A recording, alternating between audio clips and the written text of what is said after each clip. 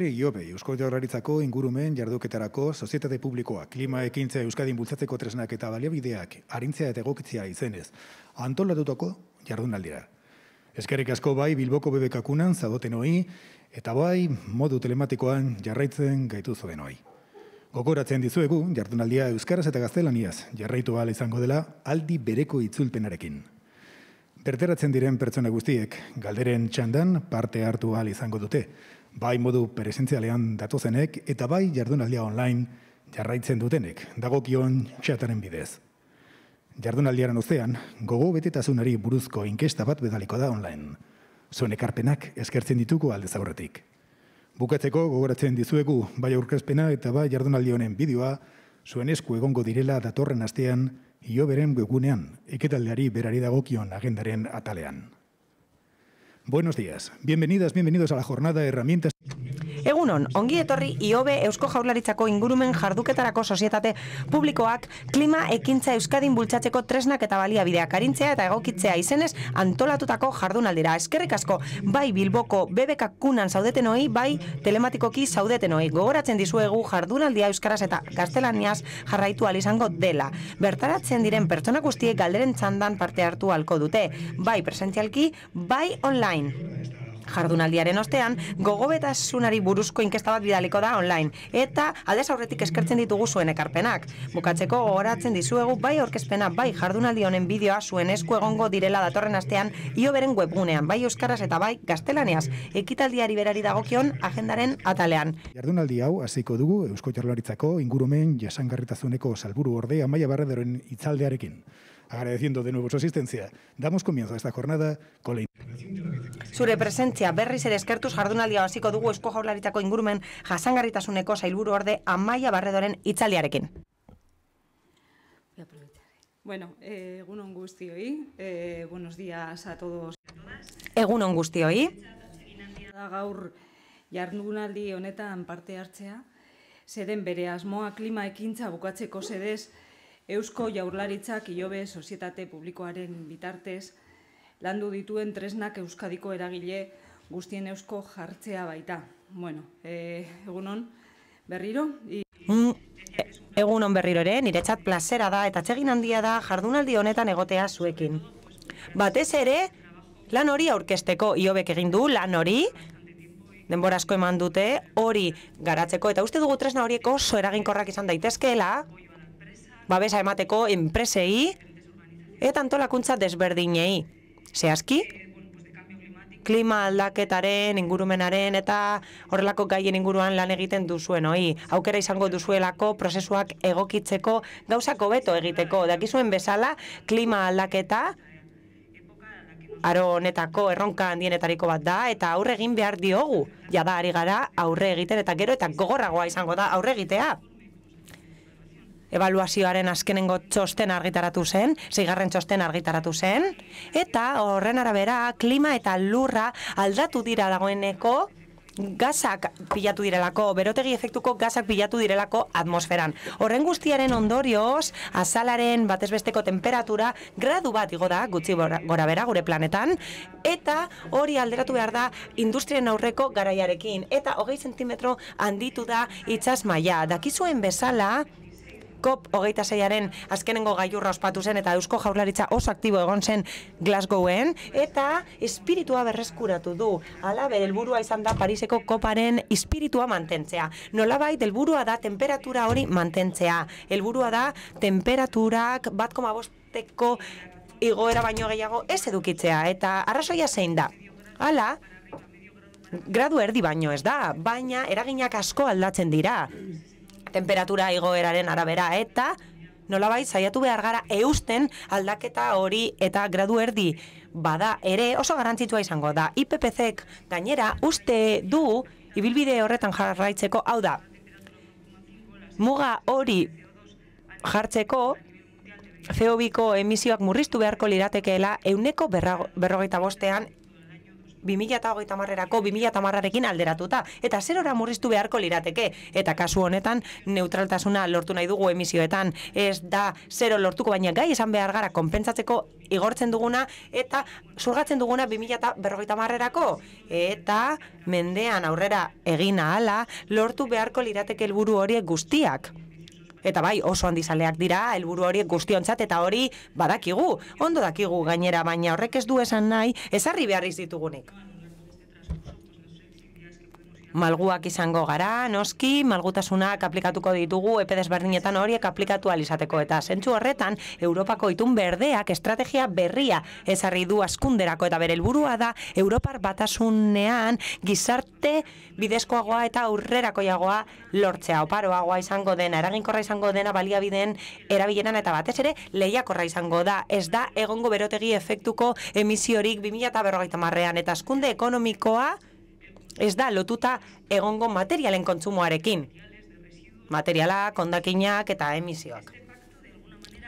Nola bait, itun honen helburua da zaintzea eta mantentzea kapital naturala eta hori badaukagu Europar batasunean eta bere helburua da gure osasuna babestea baita ongizatea ere herritarrei dagokienez ingurumen erronka horien aurrean noski eta aldi berean trantzizio hori bidezkoa izan behar da eta integratzailea izan behar da pertsonekin.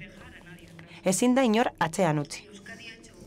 Euskadik bere egin du itun hori eta joan den urteko maiatzean zehazki, ibilbide horri bat esarri zuen Eusko Jaurlaritzak eta bere izena da, Euskal itun berdea, itun berdea, deitzen da, eta askunde ekonomikoa ustartzen du enpleguarekin, ingurumenaren babesarekin, eta horrela ekonomia desberdina sustatzen da, lehiakorragoa, loturarik izango ez duena baliabide naturalen erabilerarekin eta batez ere basua izango da emisioetan. Eredu horrekin aukera izango dugu nola baita indartzeko kompromiso horiek kompromisoek ziurtatuko dute gure ongizatea baita osasuna ere urrengo amarkadetan eta zentsu horretan esan behar da eskualdeok paper oso garrantzitsua dugula tokiko ekintzari dagokionez. Tokiko erakundeok Arintzeko neurrien euneko irurogeita mar hartzen dituzte klima aldaketan eta euneko larogeita mar egokitzapenari dagokionez. Zentzu horretan, Europar batasuneko legeria zentratzen ari da horretan, tokiko ekintzan. Eta premia horretan, hau da, premiazkoa da, behetik jardutea eta esku hartzea. Eta zentzu horretan, aurrekontuaren eren bat esleitu da hildo horretan. Horren bestez, Helburua da neutraltasuna lortzea, klima neutraltasuna 2050 marrerako, eta hori lortu behar da tokiko erakundeetatik eta eskualdeen lankidetzatik abiatuta.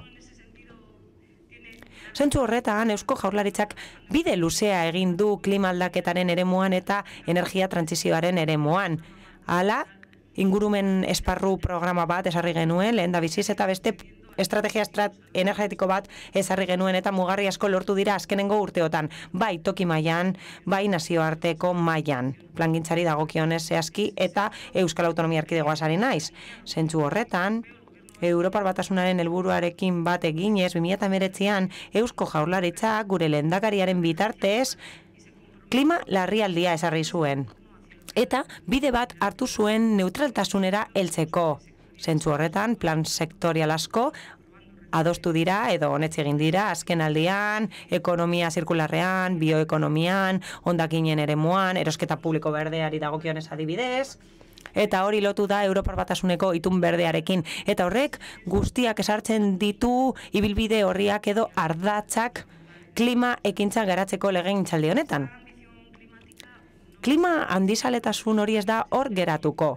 Aurre proiektu bat, jasoko da, energia trantsiziorako eta klima aldaketarako lege aurre proiektu bat da, horretan ari gara lan egiten gaur egun, momentu honetan, bukatu da informazio publikoko EPEA, ari gara aztertzen alegazioak, eta gero horren ostean, lege testura gehituko ditugu ekarpenak eta nolabait jarriko dugu legea izapidetzen.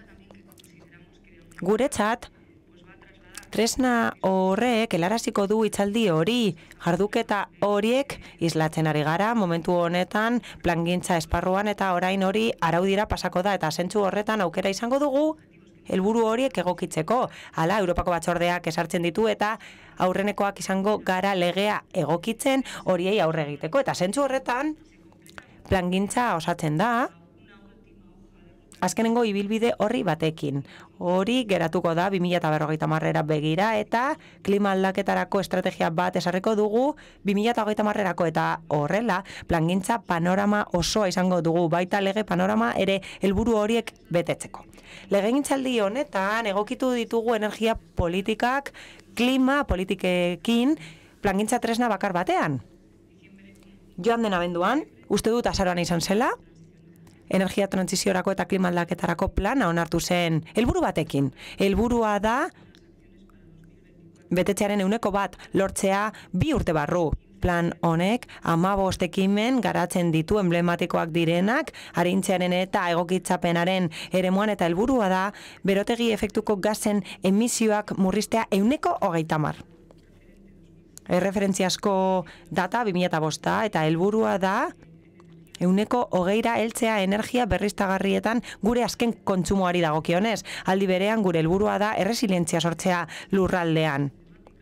Ekimen ospetsuak dira eta batzuk lotuta daude dagoeneko klima aldaketarako egokitzapenarekin. Dakizuen bezala, horrek eragiten dio gure plangintza osoari uste dugulako oso garrantzitsua dela. Horrez gain, uste dugu hasi behar garela jarduten eremu honetan eta hasi behar garela jarduketa horiek murrizten eta ez emisioak murrizten.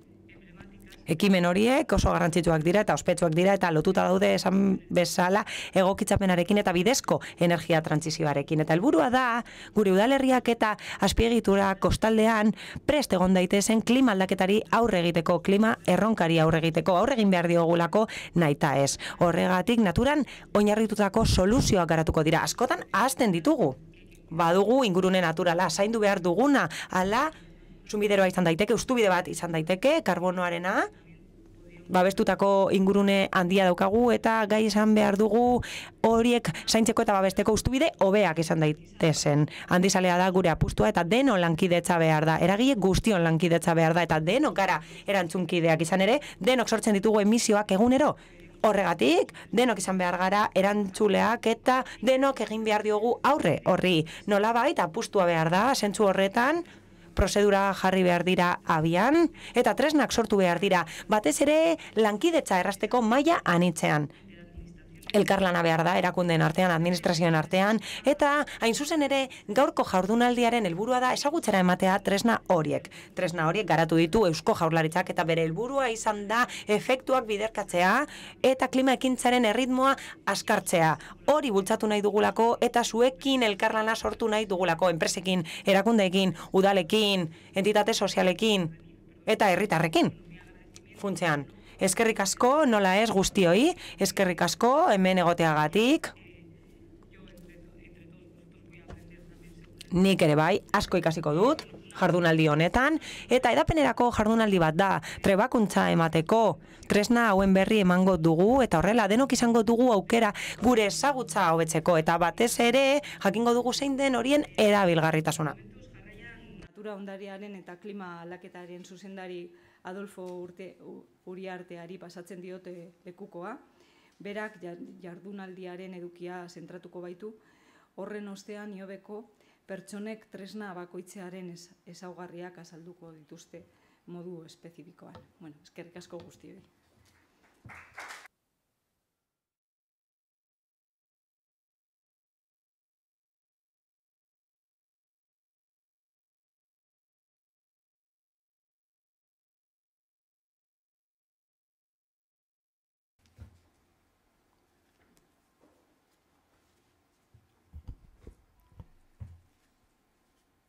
Esker amaia, egunon guztioi. Eskerrik asko gaur hemen e, etortzegatik edo pantaiaren atzean egoteagatik. Bueno, ha comentado Amaya, quiero ser breve, eh, porque lo importante realmente es, es escuchar a las personas. Labur, arituko naiz, garrantzitsuena da hemen e, gaur izango ditugun islariak entzutea eta Amaiak aipatu du, temperaturak gora egin duela planeta osoan, e, gradu batean, eta baita gurean ere. Eta noski, ba, pertsona askorentzat gradu bat ez da asko izango, baina bataz besteko temperatura Euskadin amairu amalau gradu artean dago. Beraz, gradu bat hori aintzat hartuta asko da. Zer nahi dugu eta horretan ari gara gainera esfortzuak egiten eh, administrazioan ba, nahi duguna da gure ekarpena egin helburu hori lortze aldera amaiak esan dut ez du mugatu nahi dugu graduta erdira ezta horrek planetarentzat e, euki ditzakeen e, ondorioekin baina mm, aurre ikuspen batzuk esaten dute bos gradutan ere egingo du gora temperaturak eh? pentsa dezagun Euskadik e, ba, bataz besteko temperaturan bos gradu gehiago izatea ba, horrek arazoa ekarriko lioke gure gizarteari zer esan da e, itxasoaren maila ere hogei sentimetro hasi dela, ez? Gora egin du, e, goraka jarraituko du, eta aurreikuspenen arabera, euneko irurogeita bost, laro gehi sentimetro aldean ibiliko ginake e, mende bukaerarako hainbat e, ikarketa egin dira eh, eskualdeka, baina IPCC-ren txosten berriak beste agertoki batzuk ere erakusten dizkigu metro bateko aldea hain zuzen ere zerrari gara ikusten, ba, itxasoaren mailaren e, gora egitea areagotzen ari da dela, ez? Hasieran milimetroak ziren, laro garren amarkadan, e, laro eta amargarrenean gehiago, eta 2000 eta hogeian, iru milimetro urteko, ez da? Iru koma iru, iru koma bost milimetro urtean, beraz, magnitudea aldakorra da eta eta arazoa da, eh? gure kosta eskualdeentzat eta hemen gurean ba, ba ikusiko dugu horrek inpaktua izango duela. Ondorioak gure lurralderako ba uin edo bero latuen e, e, askundea edo bero latu gehiago egongo direla, mm, errakek gora egingo dutela, estres hidrikoaren askundea, eta baita ba, lehorteak, lehorteak areagotuko dira, eta beste gauza bat baita ba, lurraren zikloan aldaketak egongo direla, eta honek ondorio zuzenak dauka e, ba, nekasaritzan eta landa ere muetan, eusko jorraritzan, e, talde lanean ari gara, hainbat erakunderekin, hainbat forotan, e, saretzen ari gara, adibidez, udalsarearekin, udalsarea hogei hogei tamarrekin lanean ari gara, elkar lanean, tokiko administrazioako hainbat e, mailatan ari gara, ez da, udalerrietan, foru aldundiotan, baina baita industriarekin ere jarduten dugu, eta beste erakunde batzuekin, eh, ezagutza duten erakundekin, eta ioberen bitartez, Eusko Jaurlaritzatik, ezagutza sortzen dugu aldaketa klimatikoaren gaiaren inguruan, beste alde batetik, gidak, prozedurak argitaratzen ditugu, em, proiektu pilotuak egiten ditugu, eta ekintza klimatikoa sustatzen dugu, eh? hainbat e, diru laguntzekin, baita adibidez jasangarritasunaren aldeko laguntzak edo eko berrikuntza sustatzen dugu baita enpresetan eta espero dugu ba jardunaldi hau honek e, abia puntu bat e, ematea eta bueno, ba honek jarraibidea izan desan espero dugu, ez? Diagnostikoak egiteko, bai ekintza klimatikoan hasteko, bai eta bueno, ba dauzkagun tresnak ezagutzara emateko. Baina zer nahi dugu baita? Ba nahi dugu zuek ere zeuen aldetik erantzun bat emateko. Nahi dugu jakin zuek zer nahi duzuen, ze premia dauzkazuen, e, baita bueno, ba, tresna batzuen inguruan gehiago sakontzeko eta ikusteko baita gure karpena zein izan daitekeen, ba tresna berriak e, sortzen eta bar. Zentzu horretan gaur hainbat tresna aurkeztuko ditugu tresna desberdinak, eh?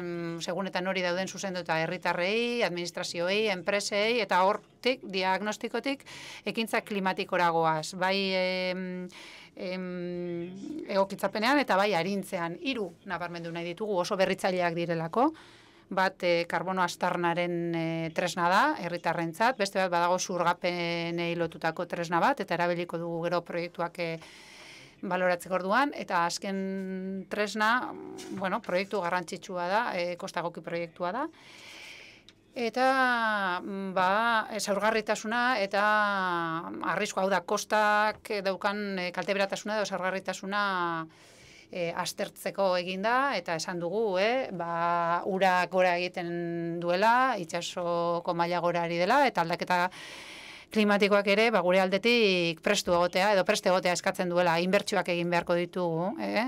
inbertsioa egin ez gastatu, eh? inbertsioa egin beharko dugu, konponbideak eh, lortzeko, eta eskualdea egokitu beharko dugu, eh? ba, ba olatuak harrapatzen gaituenean, ba, ba aurre egiteko. Esan bezala, e, tresna hauek ez dira bakarrak, noski, e, aipatu ditu da hiru tresnak ez dira dauzkagun bakarrak, beste tresna berri batzuetan ari gara lanean, eta urte honetan espero dugu, ba, beste tresna kit bat e, prestatu eta e, mai gaineratzea biodibertsitateren inguruan. Eta orain iobeko teknikarien eskutik entzungo ditugu. E, tresna honen e, inguruko guztiak. Inez Butron, Carlos Castillo, Miriam Arriel Zabalaga eta Mariluz Gomez izango ditugu, Islari, Eskerrik asko zuen aurkezpenagatik, segurazki asko ikasiko dugu, amaiak ere esan du, mila esker, hemen egoteagatik.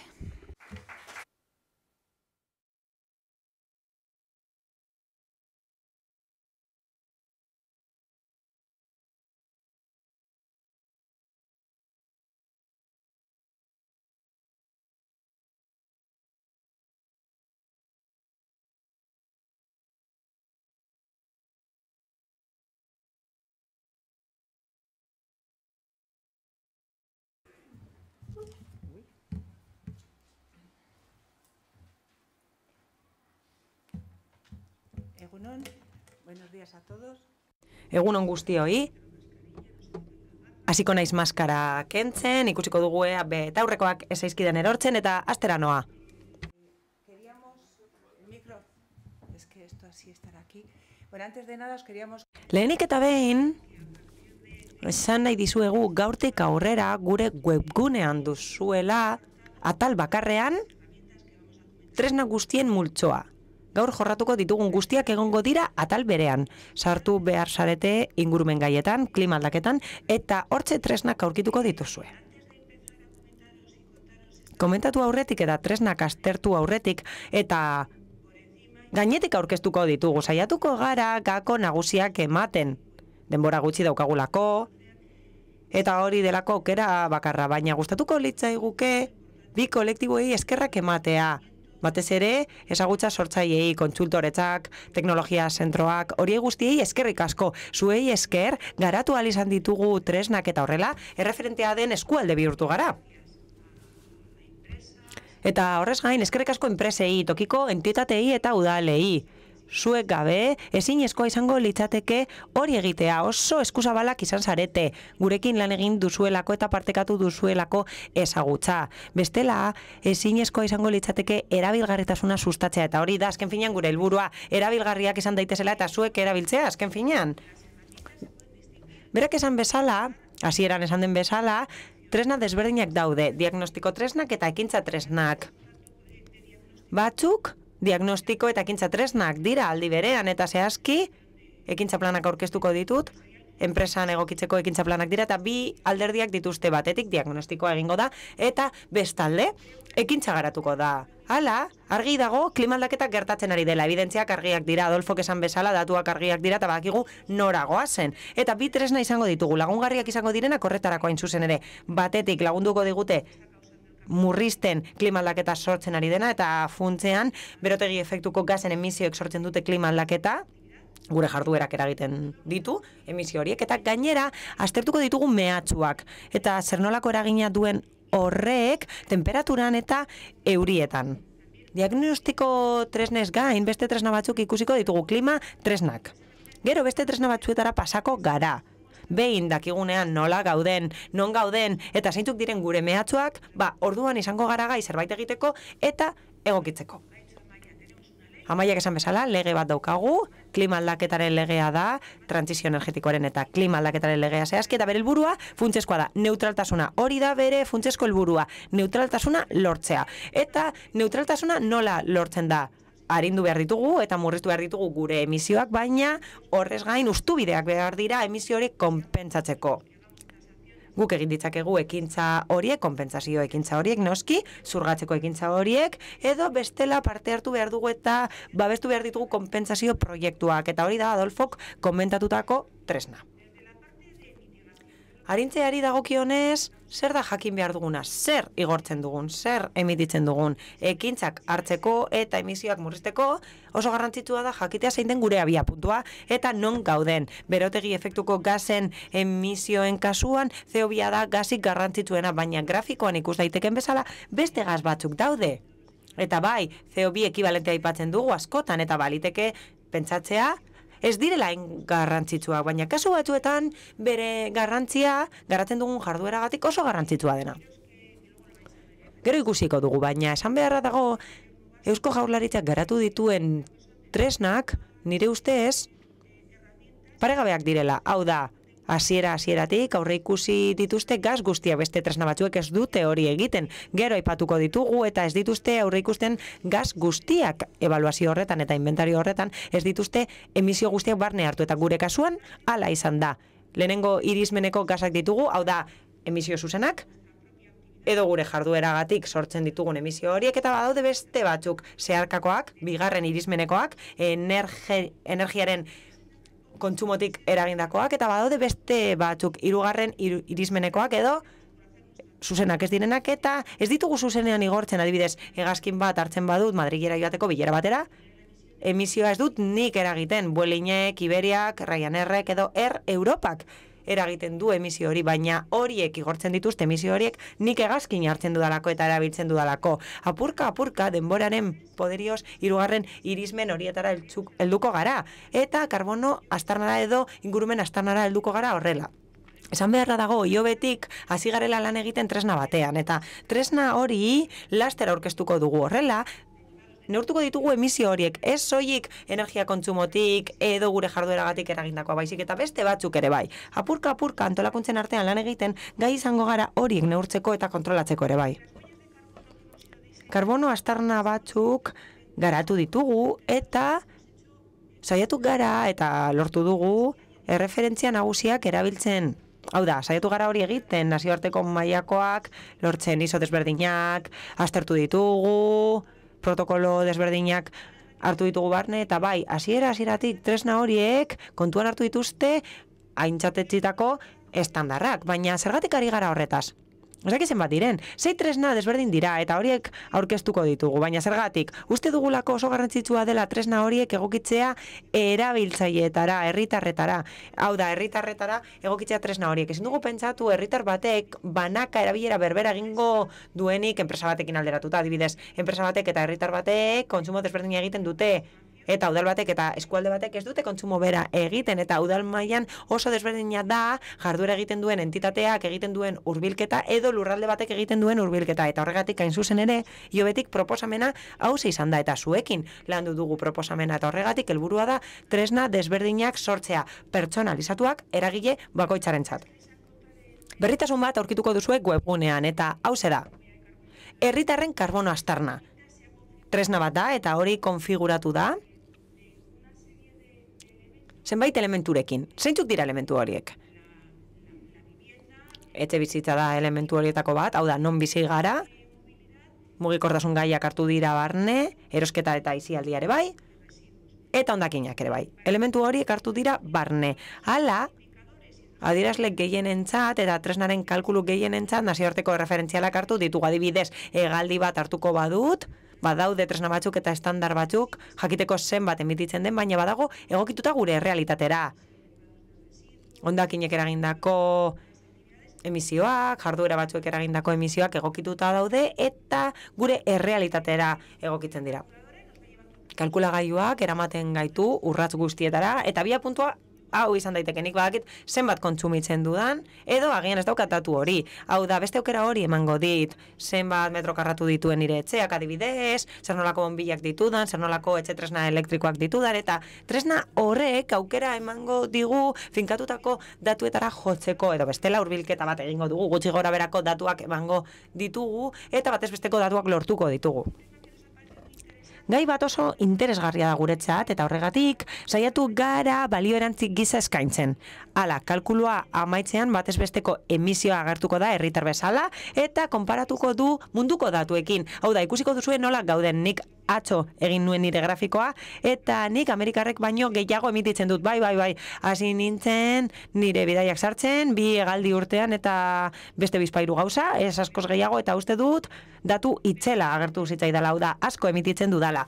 Esan zidan tresna horrek eta gomendioak egongo dira karbono astarna murresteko. Hori ere bai, tresna hau gure webgunean dago, baina eskuragarri dago denontzat linka daitek, estekak eman daitezke erabil dezakezu eta helburua da erabiltzea ez bikoiztea esfortzuak, hori da gure helburua.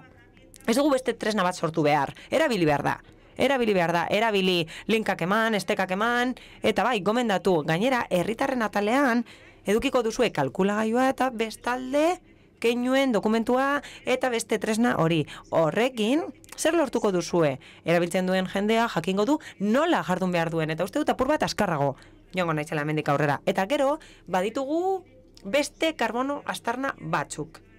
Herritarren karbono astarna hor dago, bai, tresna hori jakiteko zenbat emititzen den, baina sentsibilizatzeko sortu da eta gomendioak egiteko jarraibideak emateko herritarrei. Baina orain komentatuko ditugunak bestelakoak dira. Adibidez, erakundearen karbono astarnari dagokionez, karbono astarna hori orientatuta dago enpresetara. Horrela, erabiltzen duten enpresek ziurtapenak lortuko dituzte. Bezeroi emango dizkiete tresna horiek. Aukere esango dute ministerioaren erregistroan erregistratzeko. Eta dakizuen bezala, maiatzerako ekainerako aurre ikusi da ministerioak dekretu bat argitaratzea enpresa jarduera batzuk behartuta egongo dira erregistratzeko. Adibidez, eta tresna hau eginda dago horretarako bateragarria izateko. Erabat bateragarria da. Hasiera hasieratik tresna bat sortu dugu eta gure helburua izan da ez soik zeobian neurtzea, ez hori bakarrik, ez, beste gaz batzuk gehitu ditugu eta gainera, ari gara lanean eta lan egin dugu, irugarren irismeneko elementuak txertatzeko. Zenbait pestaina daude, lehiatila desberdinak daude, hau da hasierako aldea, irugarren irismeneko pestainan gehi ditzakezue langileen bidaiak, lan bidaiak. Gehi ditzakezue lehen gaien mugikortasuna eta bidaiak, fabrikatzen dituzuen produktuen bidaiak eta mugikortasuna. Hau da, zenbait gauza gehitzen dira. Iso berria egongo da eta estandar berriak daude nazioarteko mailan eta horien helburua da hirugarren irismena irismenera heltzea. Horregatik gure helburua da edatzen joatea eta bateragarria izan dadin. Espero dugu laster aurkeztu izatea beste tresna hori baina gaur egun esan bezala tresna hau egokituta dago eta doituta dago erabilera horietarako batez ere kontuan hartuta ministerioaren erregistroa. Printzipio sarautegia onartzen bada aurre ikusitako datetan eta zerapen gehigarria betetzen bada azkenen, ba, guk hori guztia beteko dugu. Badago udalaren karbono astarna eta eskualdeko erakundearen karbono astarna. Horiek beste bit dira. Funtzean, faktore berberak hartzen dira kontuan, kalkulu berberak erabiltzen dira, baina desberdin eginda. Zergatik erabiltzaia desberdina delako. Beraz, gure helburua izan da, egokituta egotea, erabiltzaiera egokitzea funtzean. Tresna ez da inposatu behar baizik eta erabiltzailea. Hau da, erabilterraza izan behar da eta atsegina. Iobetik eta udaltzareako kideek urtero bidaltzen dituzte datuak hain zuzen ere hori elikatzeko. Eta zentzu horretan dago eginda. Hau da, tresna hau erraza izango da erabiltzeko eta datuak erraz txertatu halko dira. Zeintzuk dira kalkulagailuak eskatzen dituen datuak eta ez dute esan, ez dute esan, beti zehaztu behar da irismena, karbono astarnetan beti zehaztu behar da irismena. Udalaren kasuan, kalkulagailuak eta honetan ere bai, zer txartartu behar da, guk egiten ditugun jarduerak. Ez, ondoan daukadan fabrikak zer egiten duen, zer emititzen duen. Ez, nik kiroldegiak kudeatzen dut, autobusak ditut, eta nik eman behar ditut nire datuak, eta nire jardueragatik sortzen dituan emisioak txertatu behar ditut. Hemen, mugikortasun datuak izango ditugu, hau da, garraio bide publikoa, autobusak, Hau da, egiten dugunaren datuak txertatuko ditugu, beste datu batzuk sartuko ditugu, kontsumo elektrikoarekin lotutakoak, eta garrantziagatik, argistapen publikoa dago jasota, eta gehitu beharko dira horren datuak, sartu beharko dira beste datu batzuk ere bai noski, eta kasu honetan, uste dugun ez oso garrantzituak direla udal politikak eta eskualde politikak, energia berriztagarrien atal bat gehitu da. Azken finean, karbono astarna egiten duzunean, eta kalkulatzen duzunean, zuk sortzen duzunak ez du eserkentzen. Baina uste dugu oso garrantzitsua dela, ondo ikustea zeintzuk diren gure politiken eraginak. Eta ikusi behar da oso garrantzitsua dela energia berriztagarriak gehitzea. Eta gero beste bitresna baditugu. Miriamekin hitz egin dut eta gero berak aukera izango du gehiago sakontzeko bera da udalsareako nirekidea eta datuen gehiengoa guk ematen dugu erraz egin alizateko eta atsegina izateko lan hori. Eta esan beharra dago tresna hauek eguneratu direla eta eguneraketak egin direla Life Urban Klimaren esparruan. Tresna hauek esango digute udal mailan edo eskualde mailan lur, gure lurraldeak zenbat emititzen duen.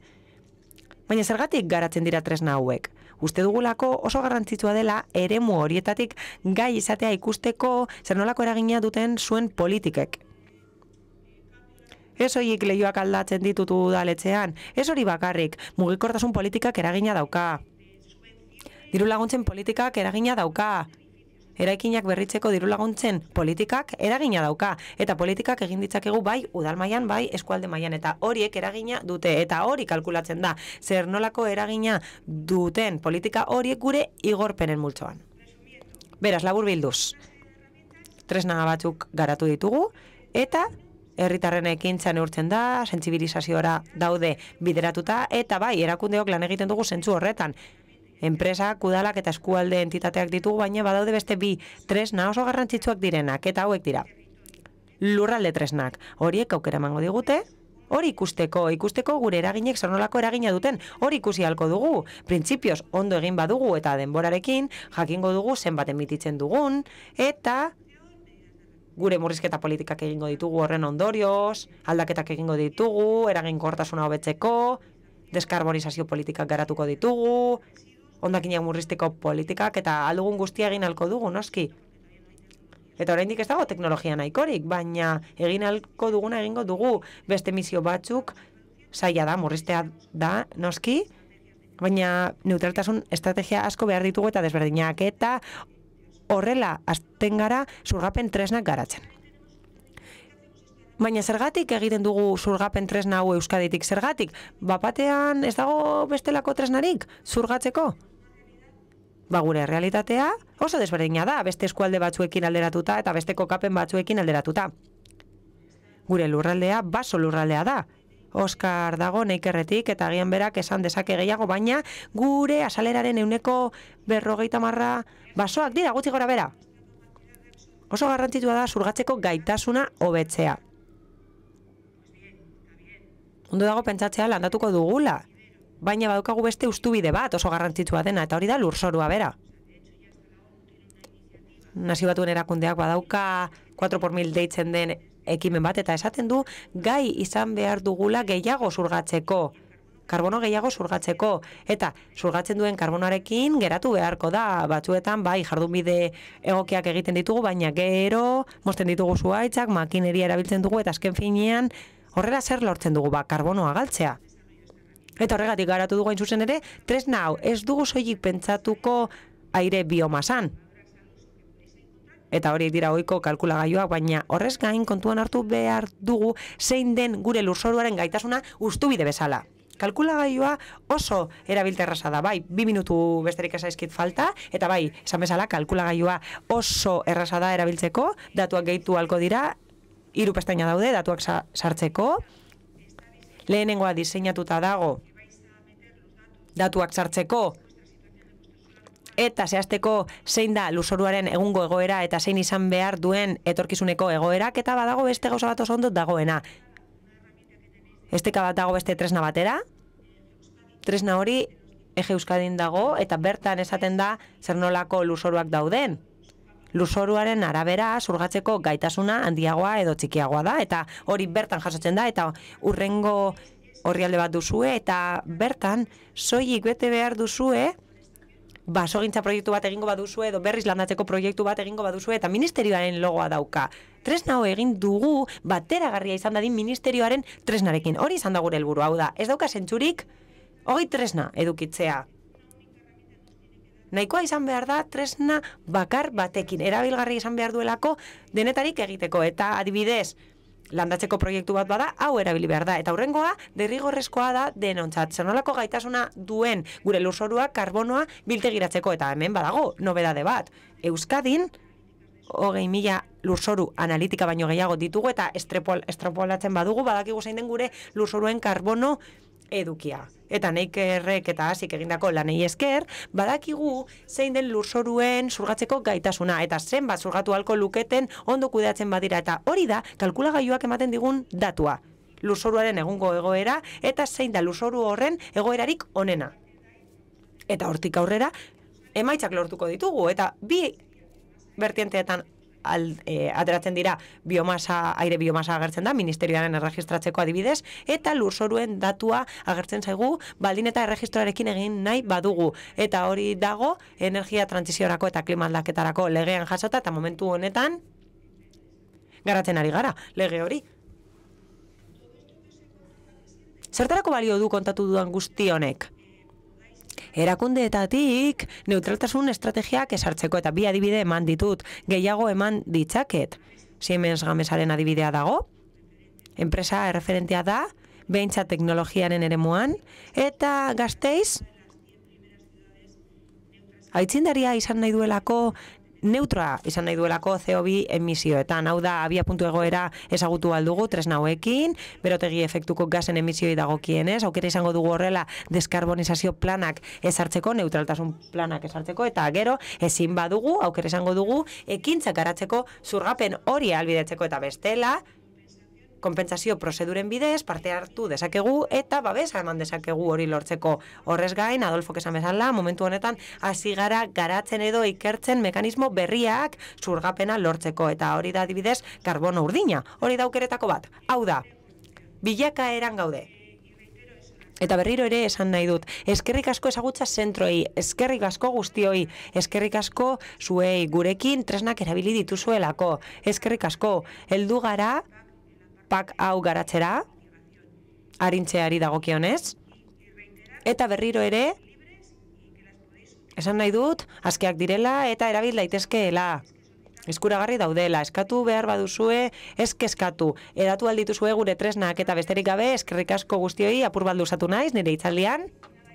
Eta hori orain, hitza emango diot Carlos Castillo lankideari. Berak, urrengo itzaldia eskainiko dizue, eskerrik asko.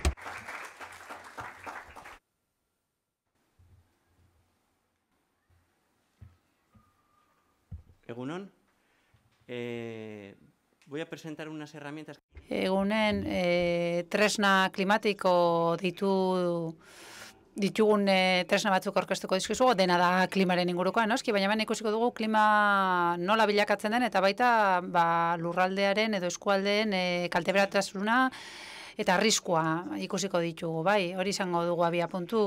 Lehenengo tresna zein da agertokien e, tresna, eta zer egin dugu ba, munduko agertokiak hartu ditugu, edo beto esan da Europako agertokiak hartu ditugu, eta geurera karri ditugu. Eta, bueno, ba, kilometro bateko eskala erabili dugu, resoluzio gehiago dago, em, sesgoak ere aldatu ditugu, eta, bueno, hainbat metodo daude, eh? zuzenketa horretan, gure metodologian, ba, datu oso, zehatzak eta egunero jaso izan ditugu datuak eta zertarako egin ditugu ba bi agertokirentzat. Bat, ba, nahiko optimista, lau koma bost, esen agertokia, eta beste bat nahiko pesimista, ez da? Sortzi koma bostekoa. Eta zertarako egin dugu, ba, eurientzat eta temperaturarentzat, eta baita ba, horietatik eratorritako indikadoreentzat hainbat, eh, erakusle edo indikadore dauzkago berrogeita mar uste dut. Bapo transpirazioa, adibidez, edo beste erakusle batzuk, ez da, ba, egun lehorrak, egun eseak, analizi historikoa egin dugu, gaur eguneko klima behatzeko, eta etorkizunera eraman dugu, eta hor daukazuen e, iru tarteetarako. Eto zer gehiago, ba, esetasunarekin, radiazioarekin eta isearekin eh, jarduten dugu, baina egun soilik e, dauzkagu eurokordeseko agertokeak, eh? amabi koma bost, bidera amabi koma kilometro.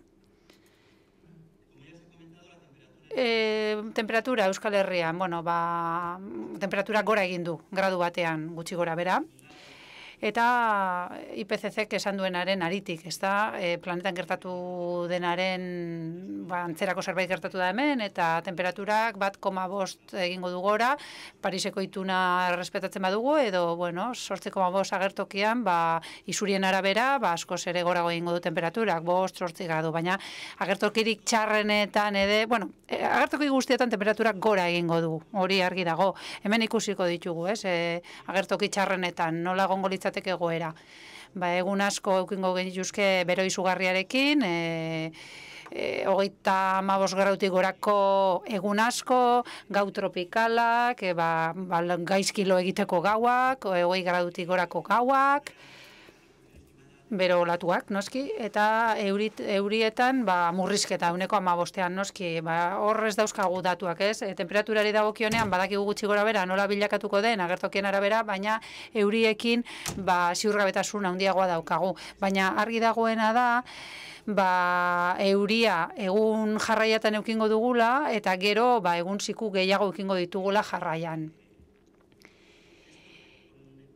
Eta agertoki hauekin edo eh, hemen daukagu kartografia bat, deskargatu dezakeguna, Euskaditik, edo ikus dezakegu edo deskargatu dezakegu baita ba, hor daukazuen bisorearekin.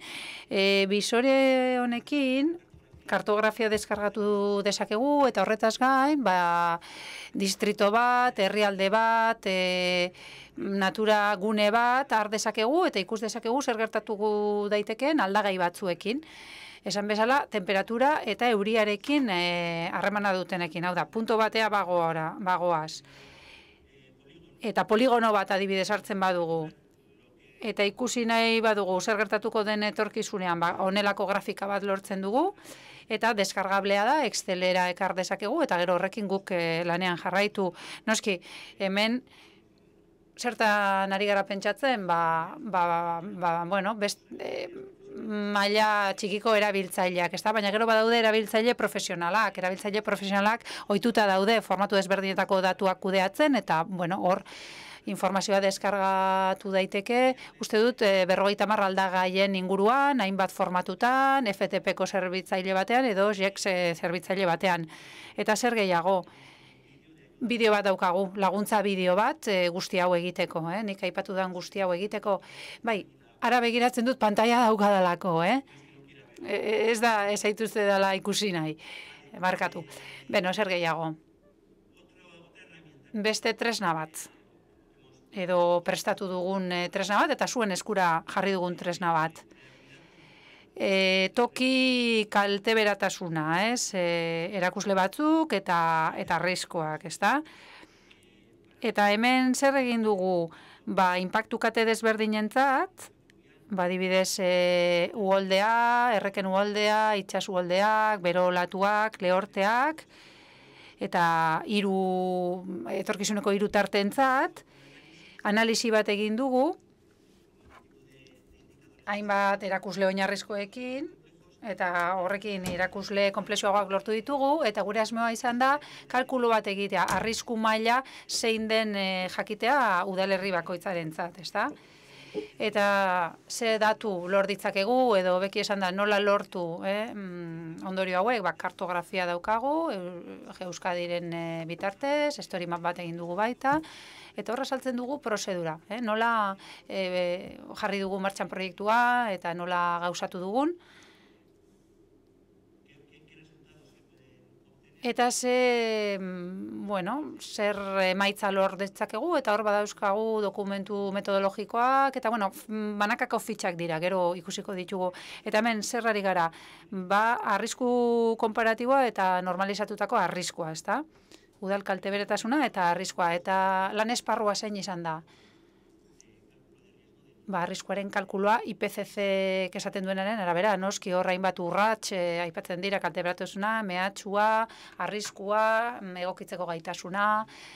Termino hauek zer esaten digute, ba, adibidez, azpiegitura bat daukagu arriskupean, ez? Edo inpaktu bat e, jasan badezake, ez? Ba, itxas maila, ba, hortik kentzen badugu azpiegitura hori, ba, horre mehatxua kentzen dugu, ez da, hori errezena izango litzateke, baina noski agresiboena ere izango litzateke, ez da, edo zer egin dezakegu, ba, aspai egitura hori, babes dezakegu, eh, ba, impactu horrek eragin ez diezaion. Edo beste gauza batzuk egin ditzakegu, azpiegitura hori erresilentia izan dadin eta egokitzen e, egokitzeko, ez, e, baldintza berrietara. Eta zer gehiago, kartografiaz gain, dokumentazioaz gain, badauzkagu banakako fitxa batzuk, lehen aipatu ditut, udalerri bakoitzarentzat, e, hauek ere deskarrableak daude, zeuen eskura daukazue, aurreko webunean, Eta hor, udalerri bakoitzak ikus dezake edo, bueno, egin dezakena da lehentasunak egin, ez da? Impactu kate desberdinen artean erabaki eta ikusi beraientzat lehentasuna zein, eh, zeinek daukan. Hor, e, konparazioak ere egin daitezke, adibidez, arrisku edo kalte eratasun maila e, eskualdearekin aldera datu daiteke, edo autonomia erkidegoko bataz bestekoarekin, edo e, al evoluzioa ere ikus dezakegu, ez? Eta nola da erakusle mm, oinarrizko hoiek ekarpen egiten dioten gero kalteberatasun eta arrisku erakusle komplexioagoei, ezta? Beraz, lehen diagnostiko bat egin dezakegu aldaketa klimatikoa eta gero hori aplikatu dezakegu udal eh, politiketara eta kasu konkretu batzuetan gainera beharrezkoa izan daiteke edo segurazki beharrezkoa izango da ba, beste ikerketa komplexuago edo sakonago batzuk egitea, ez? E, Mariluzek esan du tresna hau diagnostikoaren atalean badago ere, ba, tresna honek badauzka beste ekintza multzo bat, batzuk, edo beste ekintza mutzu bat dauka, ikusteko zeintzu diren mehatxuak, edo impactu kateak, eta ze e, ekintzak laguntzen diguten e, egokitzen, ze sektoreetan, eta, bueno, bain bat tipologia aipatzen ditu, ez da, e, ekintza modu desberdinak aipatzen ditu. Eta azkenik,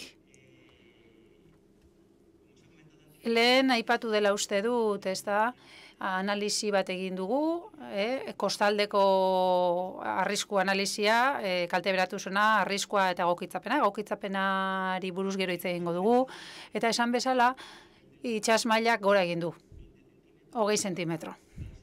Eta gora egiten jarraituko du. Proiektu hau, beste erkidego batzuekin e, egin dugu, kostaldeko batzuekin, transizio ekologikorako ministerioak e, finantzatu du, transizio ekologikoa eta erronka demografikoa, eta in, gaian sartu aurretik, ba, aipatu nahi ditut, e, erakunde batzuk lagundu digutenak.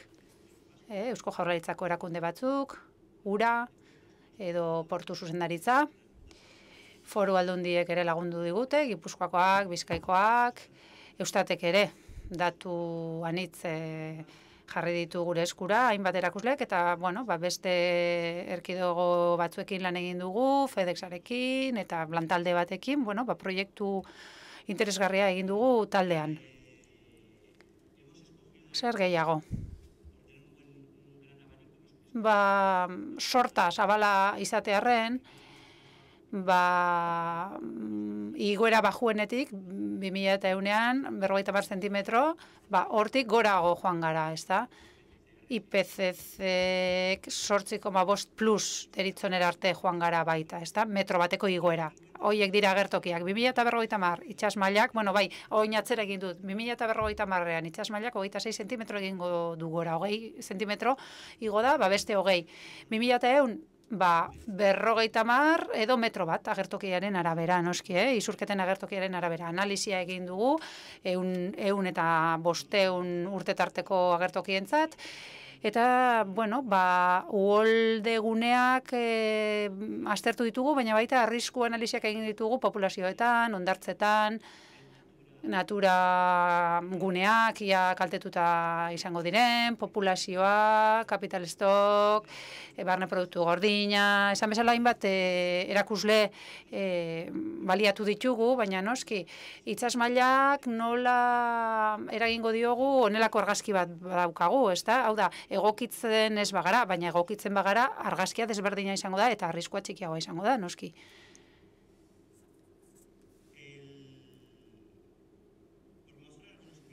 Erakusle batzuk e, hemen e, asaltzearren, ba, aipatutako itxais mailarekin, ba, uoldea, edo, edo uoldeak e, hartzen duen e, asalera, zein izango litzake.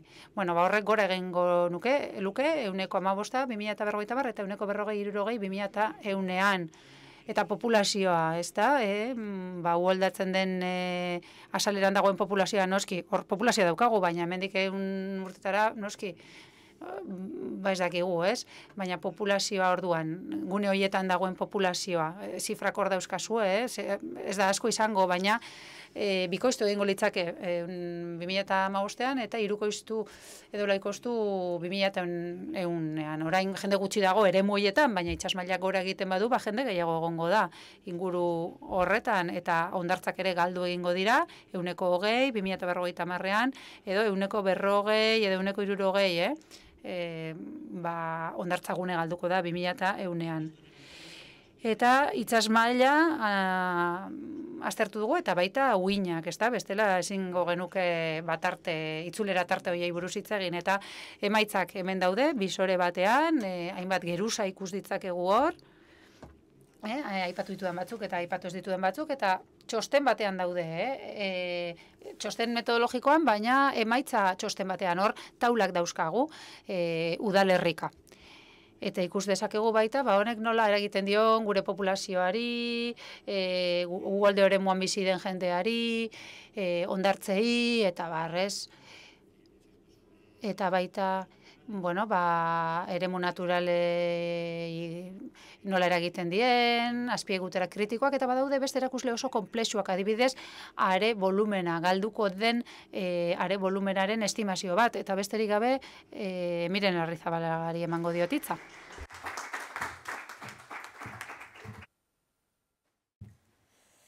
Bueno, ba, egunon. Egunon eta eskerrik asko eskerrik asko bertatutako guztioi eta konektatuta zaudeten guztioi eta bueno, baita e, ekitaldi hau posible egin duten e, lankide guztioi ere. Bueno, niri netzako placer bat eta hori bada zuekin egotea goiz honetan eta bueno, tokatu zait e, Euskadiko klima eta energiari buruzko tokiko planen gida aurkestea. Baina lehenik eta behin, hasiko apurtxo bat udalzareari buruz hitz egiten, e, garrantzitsua delako guretzat e, adieraztea baita e, udalsarea bera sarea tresna bat delako mm, udalentzat, udalentzat eta eskualdeko entitateentzat. E, bere barkatu, hasi naiz esketan. Vale, e, bere helburua, udalsarearen helburua da era, ekintzara eraldatzea, bultzatzea eta tokiko politiken eta udalas gaindiko politiken lerrokatzea.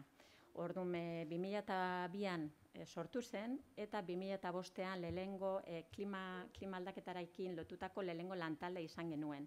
Egia da, bertan, bere ikuspuntua, ero, e, ikuspegia izan zela arintzarea, arintzarekin edo mitigazioekin lotuta, baina 2008an ja e, adaptazio edo eko egokitzarekin lotu genuen e, klima aldaketa, tokiko klima ekintza hori. Eta orduan, orduandik aurrera izan gendun ikuspegi integrala. Integralagoa eta hori kontutan izanik, e, bueno, ba, e, tresna asko eta metodologia asko garatu dira, eta tresna hauek eta metodologia hauek lagundu die bai teknikariei eta bai politikariei e, erabakiak hartzen, erabaki sendoak eta ekintza interesgarriak aurrera eramaten e, azkenik, bueno, pues, aurtengo, aurtengo urtean, aurtengo urtean akordio berria dauka zareak eta plan estrategikoa ere urrengo urtetara begira eta plan estrategiko berri horretan klima eta energia erren, erronka e, lanlerro sendo bat izango da. Ezin daitekelako bestera batetara izan. E, bueno, zergatik, zergatik gida hau, zergatik gida hau. Bueno, ba, e, testo inguruak horrela eskatzen zuelako. Testo inguruak batetik, bueno, ba, udalzarean, tokiko agenda hogei hogeta marra bultzatzen ari garenez, e, toki mailan, e, bueno, kontutan izan behar da, ODS, amairu garen ODS-ak ekintza klimatikoarekin lotura daukala, eta, bueno, beste ODS mm, askorek ere klima aldaketarekin nolabaiteko harreman handia eta zerikusia e, duela.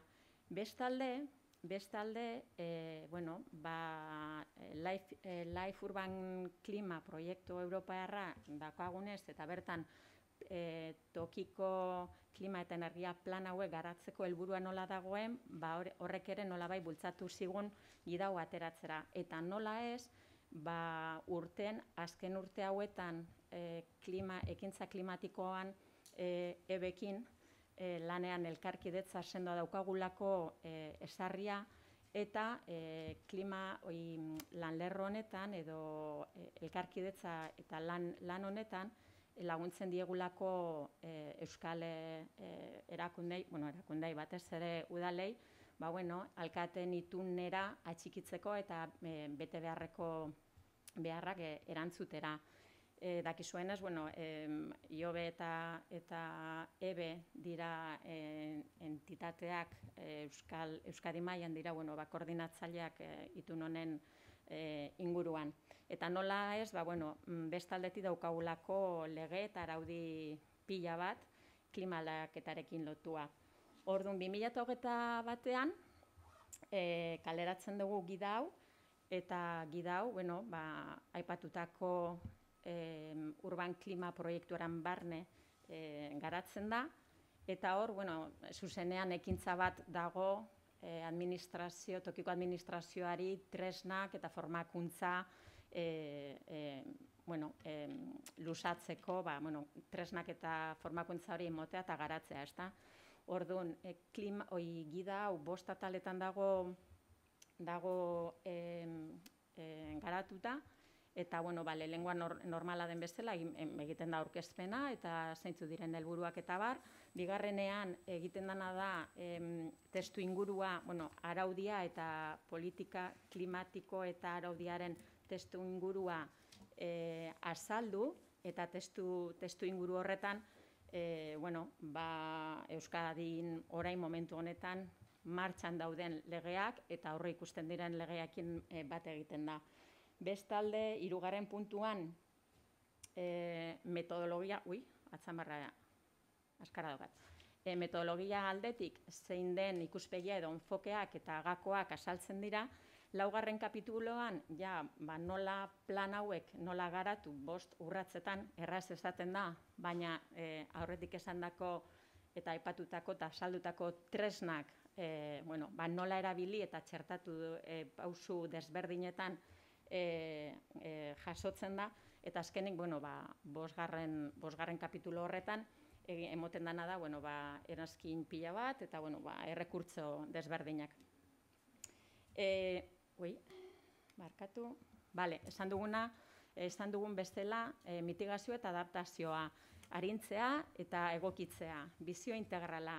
Hori da gidaren e, nolabaiteko lan lerro orokorra eta garrantzitsuena, ez? E, horre egiten, e, horre azpimarratu behar da, egiten dana da, marko metodologia argi bat azaldu dauden tresnak erabiliz, e, araudiari erantzun bat emateko hori da gidaren helburua e, azpimarratu behar baita, naiz eta e, udalerri zuzenduta egon badaukadala e, ikuspegi, e, eskualde ikuspegi bat ere jorratuta barnean. Eta esan beharra, eta azpimarratu beharra bebai, zarean egiten dugun guztia bezala, gida hau, em, e, hobetuta eta kontrastatuta dagoela zareko teknikariekin eta bueno, bere ekarpenen e, ekarpena kontutan izanik. Esparru esparru, araudiaren esparru horretan, e, bueno, da, dena da, dakigu azkenengo urteetan e, eta hilabetetan, bueno, ba, e, garapen oso handia egondala klima aldaketari edo klima, klima aldaketarekin lotua, estatu mai, oza, Europa mailan, estatu mailan eta Euskadi mailan ere. Azpimarratu behar hemen berriro, daukagula e, e, jazangarritasunaren ener, energiaren, aberre, eh, ondo esaten duten, jasangarritasun energetikoari buruzko le, lau 2000 emeretzi legea e, martxan, eta bestalde daukagula ere e, transizio energetiko eta klima aldaketaren e, aurre proiektu legea ere.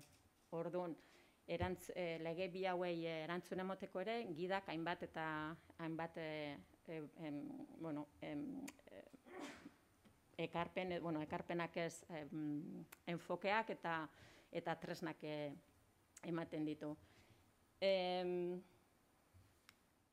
vale. Beraien arteko harremanak, legeen arteko eta plan honek nola laguntzen dituen.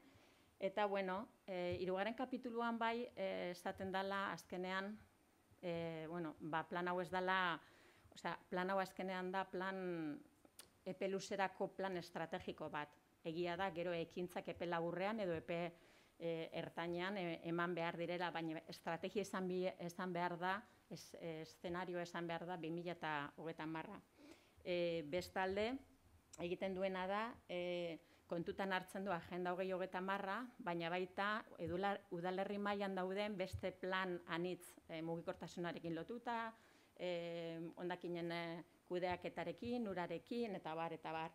Eta beste gai garrantzitsu bada, azkenean, e, bueno, alkaten itun horretara ere erantzuteko plan bat osatzen dela eta beste lantxiki batzuekin ba, erantzuteko moduan daudela udalek e, nahi izan eskero. E, e, ja, azten garenean e, ikusten, zein den e, beraien alkantze, oza, alkantze metodologia aldetik, irizmena, bai arintzean eta bai egokitzean, bueno, ba egiten dana da, e, proposamen bat egiten da, eta egiten dana da, bai diagnostiko aldetik, erabili dira, aurkeztu diren erre, tresnak erabiliaz, eta bai plangintza aldetik, egiten dana da, ba bueno, e, e, irizmen bat jarri, irisme bat jarri, eta, bueno, ba, irizpide desberdinen arabera egiten dana da lentasunak jarri, ez, udalerri mailan eta udal mailan. E, berdin gertatzen da, e, egokitzaren e, arloa edo ikuspuntutik aztertzen baldin badugu, eta hor, bueno, ba, ipatutako lau, lau e, e, impactu kateak, ez, e, aztertzen dira diagnostikoan olatu, bero olatuak, e, e, uoldeak, ez dut ikusten, ur, e, gero e, lehorteak eta bar. Eta horre ere, bueno, azkenan egiten dana da, bueno, ba, horre lehentasun bat e, jartzen da. Azkenengo kapitulua da, garrantzitzuena, zer hor, hor egiten dana da, boste urratzetan, esaten da, bueno, ba, nola, hasi eta bukatu plan hori izateko. Orduan daukaguna da antolakuntza fase bat, Gero daukagu diagnostiko fasea, ba hor nor ikusten dan mehatxua, kaltere bederetasuna, begixuriak, mm, alde bietatik ikuste ikusita, ez? Eta gero daukagu e, formulazio estrategikoa ikusteko bai e, iriz e, zein dan e, bizioa, zein izango den planaren e, bizioa, metak eta bar, objetibo politiko helburuekin e, lerrokatuz baita, eta gero laugarren, ui, laugarren pausuan egiten dana daia zehaztu, diagnostiko horren aurrean azkenean zerra ekintza konkretu aurrera eramango diren.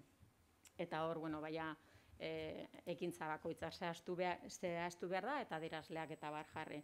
Eta azkenik nola ez, plan guztietan bezala, egon behar da ebaluaketa eta jarraipen puntu bat, eta ebaluaketa eta jarra, e, e, jarraipen horrekin egiten dana e, da azkenan ateratzen da zein dan e, plan horren esartze, esartze maila, adierazleak ere kontutan izanek, eta gero horren e, emaitzak eta horren ondorioak ondo aztertuz, egiten da, egin dezakena udalerriak, udalak da, hobeto esan da, e, batetik e, administrazioara araudiaren ere bete beharren e, erantzuna eman, edo e, beste kasu batzutan adibidez, e, ba bueno, e, alkaten e, itun horretara e, ba hori, aurkeztu eta beraien e, e, urteroko txostenak, ero jarrepen txosten horrek e, emon.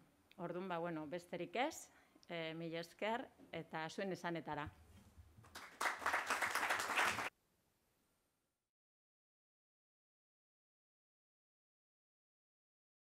Zeri ematen diote, itzabar.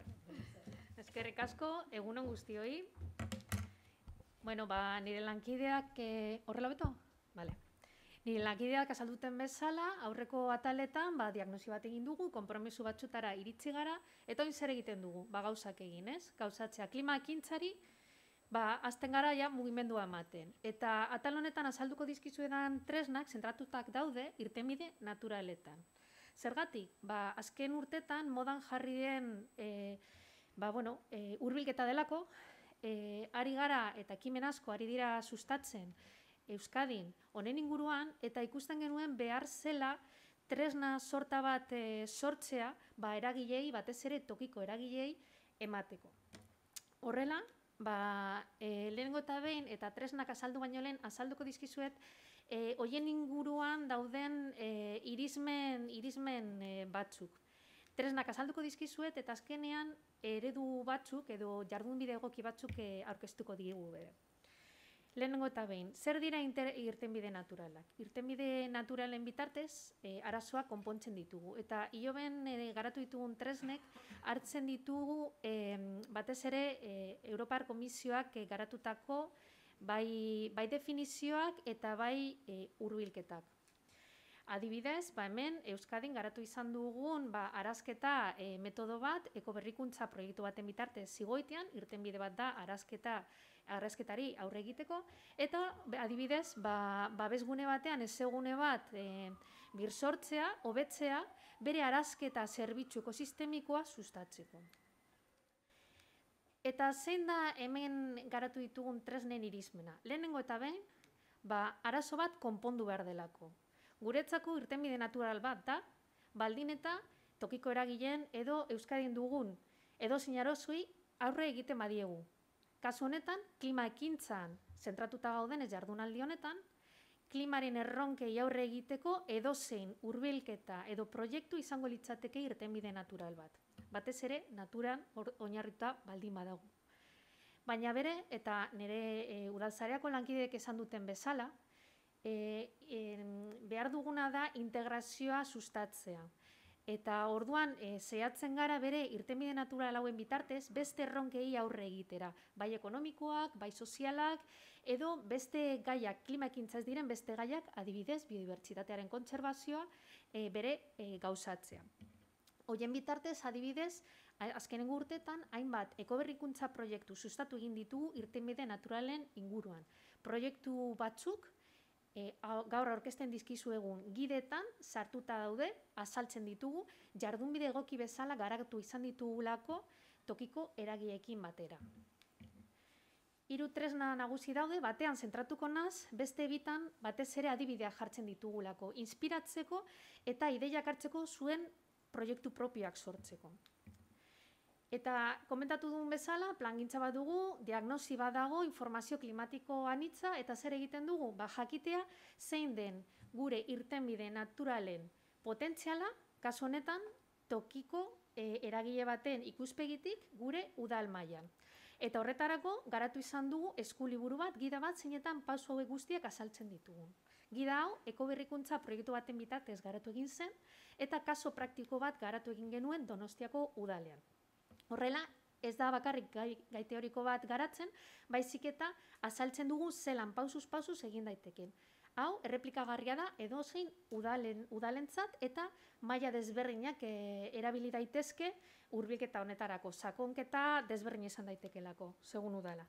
Orduan, zer dago gida honetan? Lehengo eta behin, ba, jakin, arrisku klimatiko bati aurre egiten diogula, kasu honetan, adaptazioa egokik txapena jorratuko dugu bakarrik, harinketa eta beste gai batzuk garatuko ditugu edo azalduko ditugu beste tresna batzuetan, baina urte honetan zehar garatuko ditugun beste e, aurkezpen eta e, jardunaldietan.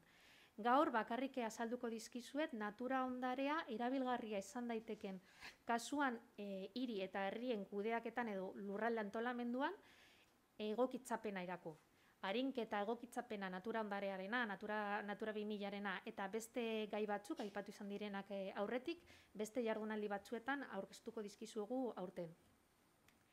Gero, e, gidan potentziala identifikatzeko, eukiko dugu metodologia bat, ikusteko pausuz pasuz zeran ikusi behar dugun daukagun potentziala. Udalak oso desberdinak dira, euren realitateak oso desberdinak, baina potentziala e, dago guztietan, gauzak egiteko. Batzuetan, gauza gehiago egin daitezke, ikusgarriagoak izan daitezkenak, baina beste batzutan ba, bakarrik izan daiteke kontserbatzea daukaguna. Horregatik guretzako oso garrantzitsua zen ikuspegi lurrande altonamenduaren ikuspegi globalokitzea. Eta azkenik eredu gehiago jartzen ditugu. Eta zer, zelan zentratu egin dira eredu hauek? Ba, eskala desberdinetan. Zergatik, ba, bueno, udalak oso desberdinak dira Euskadin, errealitate oso desberdinak dituzue, eta horregatik egin duguna da, alde batetik, eraikuntza, eraikuntza ikuspegitik hasita joan gara lurralde antoramendura, eta hor aukera desberdinak e, jorratzen ditugu, ba, aukera desberdinak daudelako, eta batzutan ez da ikusten, batzutan zentratzen gara, ba, kaleak, e, aldatzen, e, berdeagotzen erekuntza, baina ez gara konturatzen gure landa ere muan, egon daitezkela leku oso garrantzitsuak egokitzapenari aurre egiteko, eta egin behar duguna da euiek sustatzea eta hobetzea. Eta hori da gida honetan aurkitu dezakezuna. Zer egiten dugu? Ba, lotura bat dago e, aurretik azaldutako tresnen eta datuekin eta hemen egin daitezken e, diagnosi eta irtenbide, irtenbide ezberdinen zerrendekin. Lotura izan da gure klima mehatzuetara erantzunei emateko egon daitezken aukera desberdinak, eskala desberdinak hartzea eta gurutzatzea. Eta taula honetan ikusten duzue, ba, segun zein den e, klima mehatzua, ba, irtenbide natural batzuei aurre egin behar diegu. Ez da gauza bera koskaldeko ualde bati aurre egitea, edo lehortei aurre egitea. Eta maila oso desberdina izan daiteke. Horregatik egiten duguna da, ba, gomendatzea e, mehatzu horri aurre egiteko, irtenbide natural batzutan zentratzea. Modu horretan, zehatu izan gara, Euskadiko udalen errealitate guztiari e, aurre, aurre egitea. Adibide, desberdina jarri ditugu eta eredu bakoitzeko jarri ditugu e, gomendio batzuk, eredu batzuk, eta beharrezkoak diren gauzak ba, potentziala hori analizatzeko.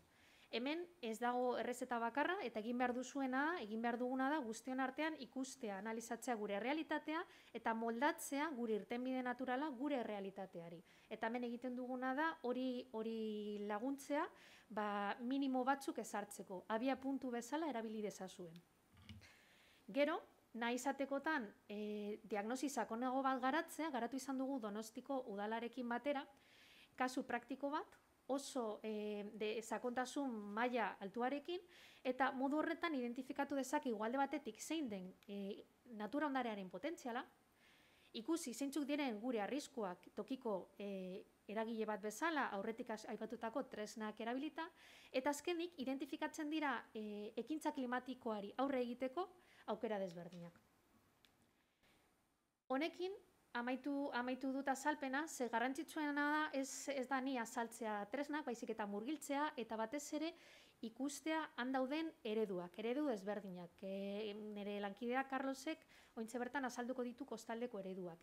Udalazko daude ointze bertan ekintza klimatikoa ekintza klimatikoa lan egiten, eta askok erabili izan dituzte irtenbide naturalak. Euskadi erreferente bat da e, irtenbide naturaletan.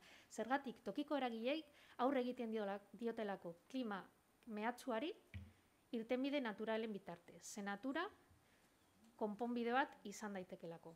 Eta orain Carlos, zurea da lekukoa.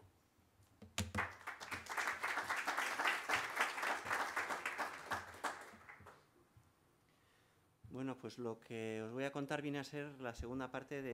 Orain, aurreko proiektuaren bigarren partea azalduko dizuet, kostalde arriskuan zentratuta. Lehen ikusi dugu zein den arriskua eta orain aztertuko dugu zer egin dezakegu horren aurrean. Hemen ikusten duzuena kosta egokiren bigarren partea da. Hau da, argitaratu dugun dokumentua.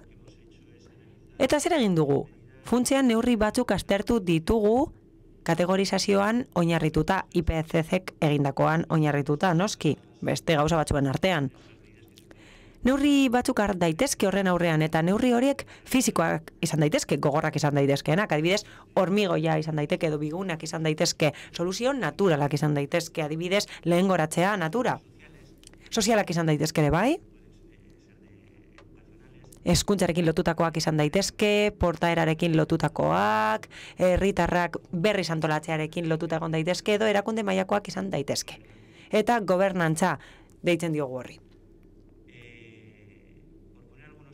Adibide batzuk ematearren honen inguruan, logikoki, ez ditut neurri guztiak erakutziko aspergarria delako.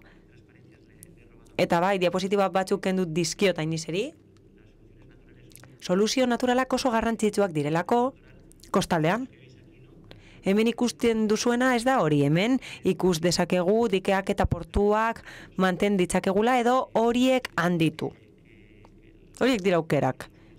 dikeak eta portuak dira lehen da biziko defentsa, irien kasuan, edo beste azpiegitura batzuen kasuan.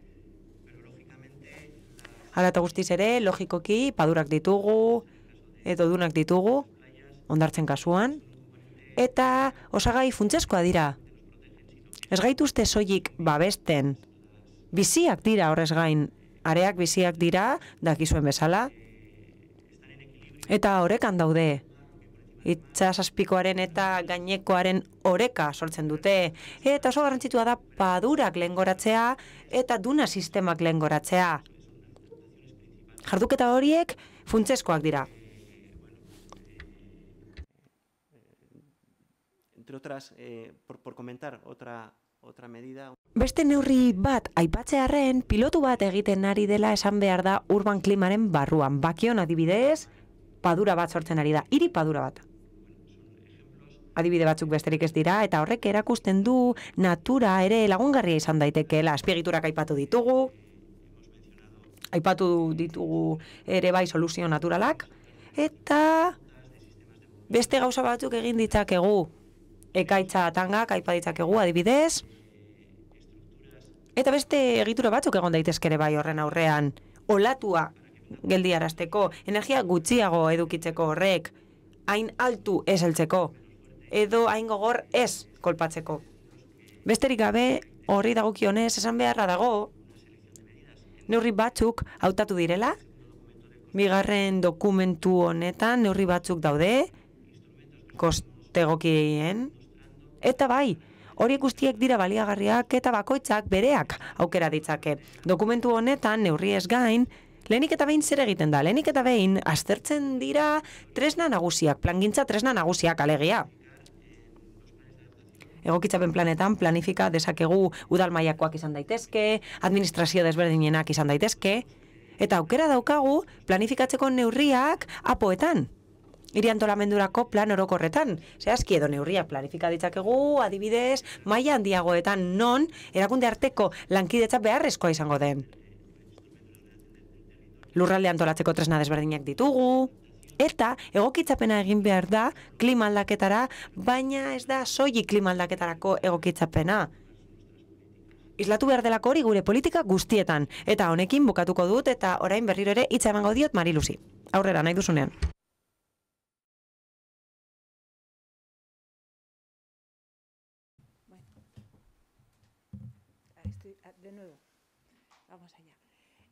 La último instrumento que os queremos... Azkenengo tresna bat aurkeztuko dizuegu.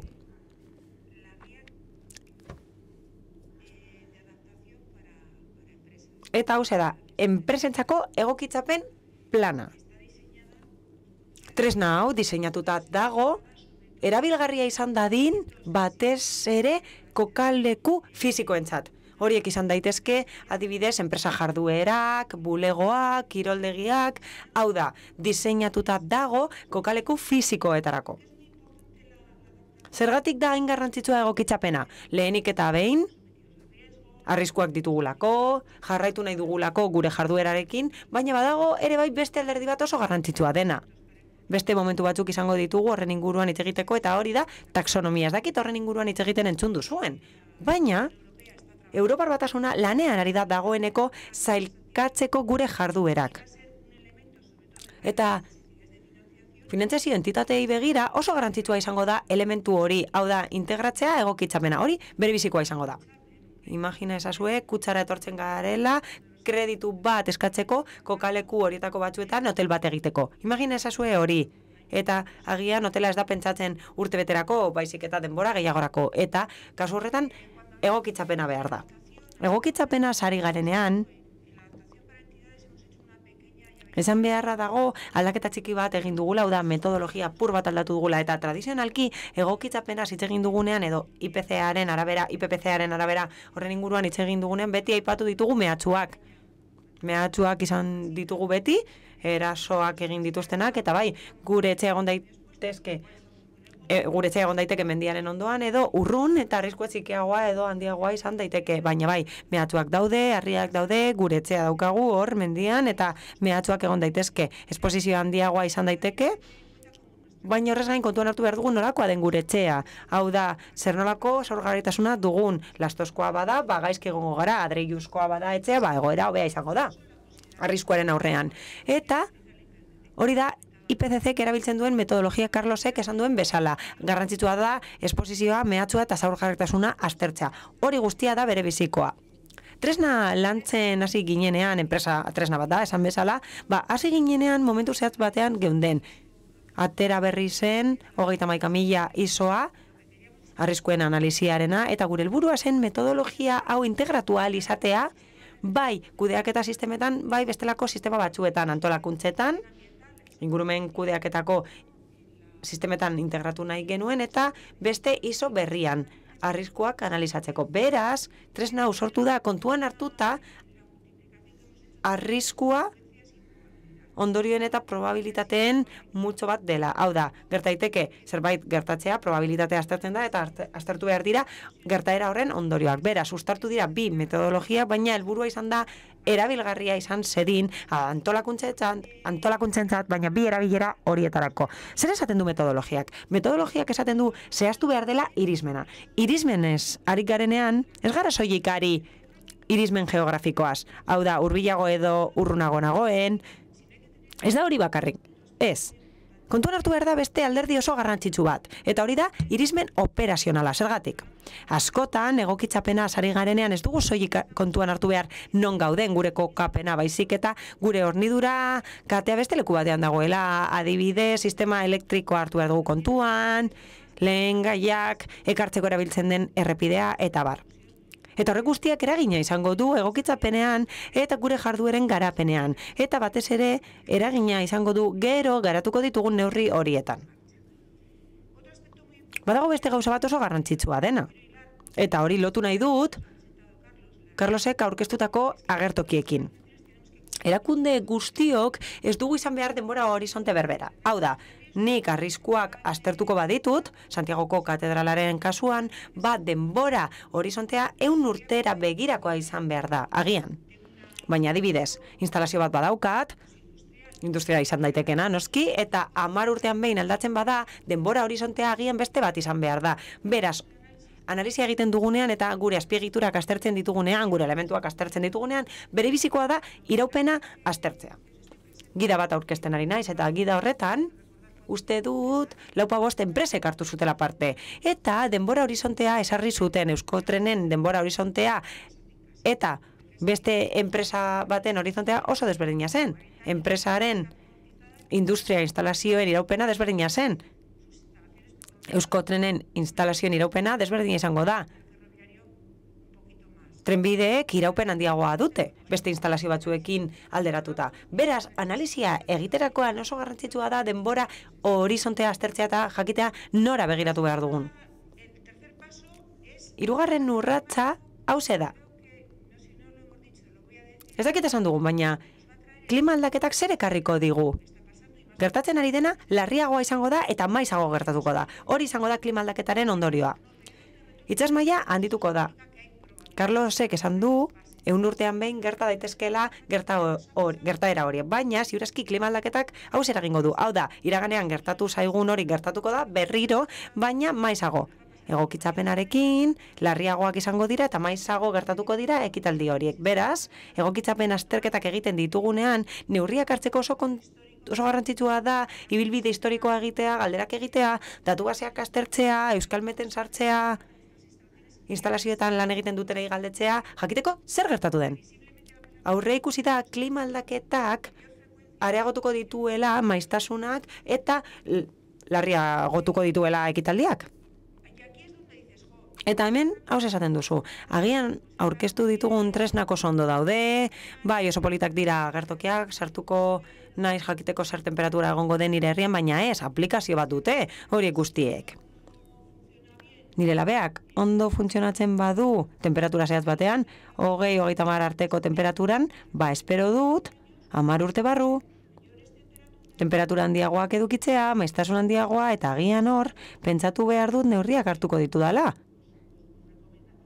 Eta kasu honetan, eskatzen dizuegu bizorera jotzeko. Hau da, oso garrantzitsua da jakitea zer espero daiteken gure kokapenean. Adibide bat egongo da gidan. Enpresa batek bere instalazioen sarreran, baduka baskula bat, bestela ezin du instalazioak funtzionatu, lehen gaiak pisatzen dituztelako, sartzen direnean, eta udan, bero olatuak daudenean, ez dio balio rango horrek. Beraz, kamioi guztiak zain egoten dira. Hotzaren zain egoten dira. Adibidez, labe bat ostu daiteke eta berolatuak badaude ez da ostuko. Beraz oso garrantzitsua da gure kokapenean identifikatzea zeintzuk diren temperatura egoerak, batez ere jakiteko zeintzuk izango diren hartu beharreko egokitzapen neurriak eta diseinuak horretara egokitzeko azken finean. Beraz, kosta egoki tresna daukagu ere bai. Eta instalazio berria egingo dugunean oso garrantzitsua da ikustea zer aurre ikusten den puntu horretan eta zenbat igoko den itsas maila. Gero adibide batzuk emango ditut eta egokitzapen neurri batzuk hartu dira agertoki hori guztia kontuan hartuta. Metodologia bat proposatzen dugu arriskuak aztertzeko eta metodologia hori oso tradizionala da. Jazop metodologia da. Hau da, pentsatu behar da, zer gertatuko den temperatura egotzen bada. Jaisten bada, hau da, galdera horiek egiten ditugu eta analizia kualitatiboa da. Hau da, aztertzen da, zer gertatuko den igotzen bada eta zer gertatuko den jaisten bada. Eta mehatzu guztiekin ibilbide bat egin beharko da. Mehatzu guztiekin ibilbide bat egingo da. Zer gertatzen da igotzen bada, zer gertatzen da jaisten bada. Eta gainera, kontuan hartuta bisoretan ditugun datuak ikusiko dugu zer espero den igotzea temperatura egoko delako eta rangoak esarriko direla horietarako. Adibidez, gerta daiteke itsas mailan handitzea eta horietarako, horietarako rango desberdinak esartzen dira. Eta azkenik, helduko gara honetara, hau da. Analisi bat egiten da, konfiguratzen da apur bat desberdin, udal mailan egiten denarekin alderatuta noski, eta aurkeztutako tresnekin alderatuta, hain zuzen ere hori nahi genuelako integratzea sistema desberdinak. ISO amalau mila bat, hogeita maika mila ISO, eta hori aipatzen dute arau horiek. Zeintzuk dira ondorioak, eta zein den horiek gertatzeko probabilitatea eta muturreko gertakari esari gara, eta horren arabera identifikatuko dugu zein den gure arrisku maila.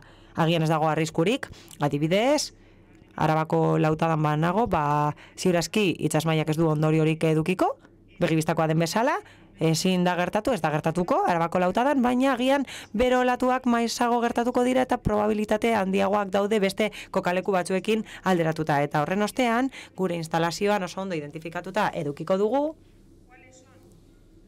zeintzuk diren arriskuak, zein den probabilitatea altua edo basua, eta horren arabera, zailkatu halko ditugu, eta jakin halko dugu, zeintzuk izan daitezkeen eta nola egikaritu behar ditugun neurri horiek esan bezala, tresna hau diagnostiko tresna da eta hau da diagnostiko partea, orain artekoa, baina hemendik aurrera ekintzara pasa gaitezke. Bi adibide jarri ditugu, bat, idonen eraikina da, hori da lehen da bizikoa, eta bere diseinuan, egokitzapena gehitu zuten klima aldaketarako egokitzapena, noski. Diseinuan bertan hasi ziren hori txertatzen, adibidez. Aukera baduzue hori bizitatzeko ikus dezakezue. Aparkalekuetan entzufeak daude, metro batera daude, metro bateko altueran daude kokatuta entzufeak, dana dago konfiguratuta, kontuan hartuta, nola igoko den maila. Eta badago beste irudi bat, industrialagoa dena, eta eraldaketa zentro bat da, funtzean, eta bai, ibai batetik hurbil dago, zentro hau, uholdeak egoteko arriskua dago, publiometriak hori esan duelako, eta zer egin dute? Sarrerak eta irteerak igo dituzte besterik gabe. Askotan egokitzapen neurriak aipatzen ditugu eta neurri desberdinak daude batzuk oso gogorrak dira, adibidez dikeak izan daitezke, baina beste neurri batzuk txikiagoak dira. Kontuan hartu behar dira eta besterik gabe plangintza hori egin. Baina, egokitzapena ez da soilik izan behar arrisku bat, baizik eta abagune bat ere bai, abagune bat izan daiteke eta ez nuen bukatu nahi esan gabe abaguneak ere badaudela. Bi adibide daude egokitzapenaren abagunea erakusten dutenak. Hemen daukagu Guanda Metropolitano lehenengo irudian eta aparkalekuen partean hormigoia desberdina da. Errepideekin alderatuta, aparkatzeko partean errekerimendu gutxiago daude, esposizioa txikiagoa da, eta asfaltoa iragaskorra da, funtzean, eta bigarrenik zuria da. Madrilen bero olatuak daudelako zer egiten dute horrekin. Ba, konponbide bat egiten dute egokitzapena lortzeko. hau saltzen duen enpresak produktu berrian abagune bat aurkitu du. Merkatu abagune bat, noski, eta bestalde badago beste teknologia bat. Trenbideak berotzen dituena, botata ez usteko. Nik gogoratzen dut, ez dakit noiz izan zen, baina joan ginen Madrilera, live aurkestera, lehenengo defentsa egitera, eta Europa erdia bero latuagatik zegoen itzita. Aireportuek ez zuten funtzionatzen, pistetan ezin zutelako ez lurreratu, ez aireratu, ez zegoen aukerarik, beroagatik. Eta azkenean egokitzapena egin behar da. Eta aztertu behar dugu gertatzen dena, baina ez soilik egokitzeko eta arriskuak aurrizkui aurre egiteko. Baizik eta aukerak sortzeko, hau da, udalek eta enpresek aukerak bila ditzakete horretan. Besterik gabe, guztiei berriro ere eskerrik asko, eskerrik asko etortzeagatik. Streaming zaudeten hoi, eskerrik asko jarraitu izanagatik eta jasan izanagatik. Entitate guztiei eta kontsultora guztiei eskerrik asko lagundu diguzuelako ona heltzen eta aukera eman diguzuelako auke, aurkezpen hauek egiteko eta aurreantzean lagunduko diguzuelako eta lan egin duzuen hoi eta ekimenetan parte hartu duzuen hoi. Eskerrik asko ere bai, eskerrik asko guztioi oso eskuzabalak izan zaretelako. Konejillo de Indias izan zaretelako, funtzean. Eskerrik asko, ioberen taldearen izenean. Klimakintzako gehienok hemen gaude zuzendaritza osoa hemen dago eta eskerrik asko horiei ere bai posible egin izanagatik eta orain zuen txanda da galderak egiteko zalantzaren bat baduzue edo zerbait komentatu nahi baduzue egin dezakezue. Hala eta guztiz ere inkestak bidaliko dizkizuegu ez dakit gaur edo urrengo estean, baina hor ez dizuegu soilik eskatzeko jardunaldia bali estatzeko. Ez hori bakarrik, esango diguzue zer behar duzuen, prestakuntza behar duzuen, tresna berria behar dituzuen, agian esan nahi duzue tresnako betu behar direla. Lehen ez dugu esan, baina tresna hauek eguneratzen ditugu, urtero eguneratzen ditugu, karbono astarnenak eguneratu behar dira, eta baiatzerako adierazle berriak izango dituzte, eta emisio faktore berriak izango dituzte, eta besterik gabe, mi esker.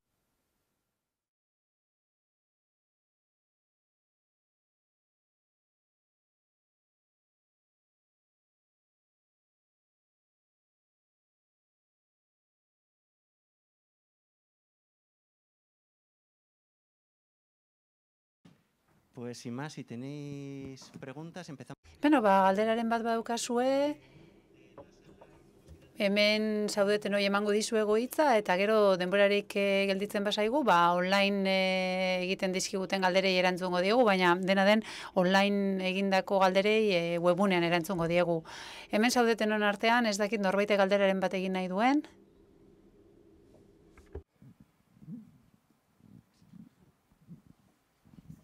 Eh, opa, egunon. Eh, yo sí que quería...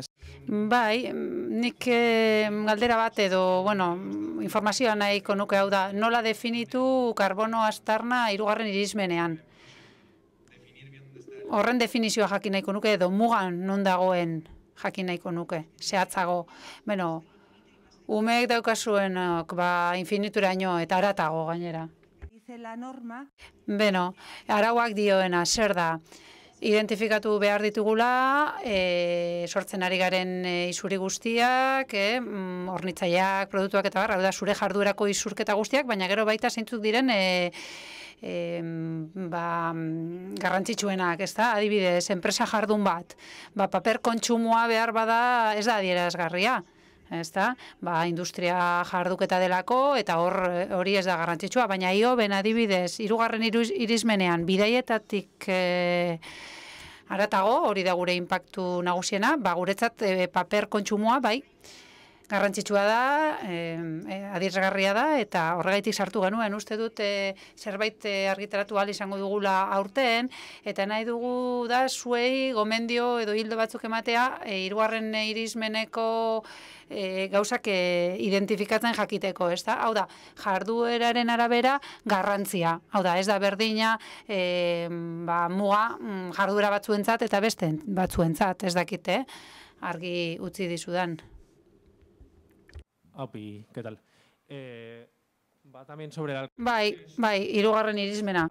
Que se va a evolucionar, entiendo. Esan duzue, ba, tresna garatu egingo dela, baina adibidez, e, ekoizpen enpresak, ez da, ba, komplexuak direnak, irugarren irizmen horretan, hornidura kate oso komplexuak dituztenak, eta bar, helduko da, sektore horietara, sektore desberdinetara, GHG protokolek azken finean, ba, estandar nahiko homogeneo bat ematen digu, ez da? baina gero sektorizazioa dugu, eta, bueno, badaude erakunde batzuk sektoreka diardutenak, baina ez dago tresnarik, eh? ba, irugarren irizmenean, ba, sektorearen arabera egin dena, ez da? Hau da, azken finean jakin behar da non dagoen zure impactua, ez da, izurietan, eta ez dakit hori garatzeko planik dagoen. Bueno, guk daukagun plana. Zer nahi dugu, ba, jarduera guztiak, eh, barne hartu nahi ditugu, ekoinbent eh, tresna, adibidez materialak, produktuak eh, hartuko ditu barne, eta bai, gure helburua bai da denak sartzea.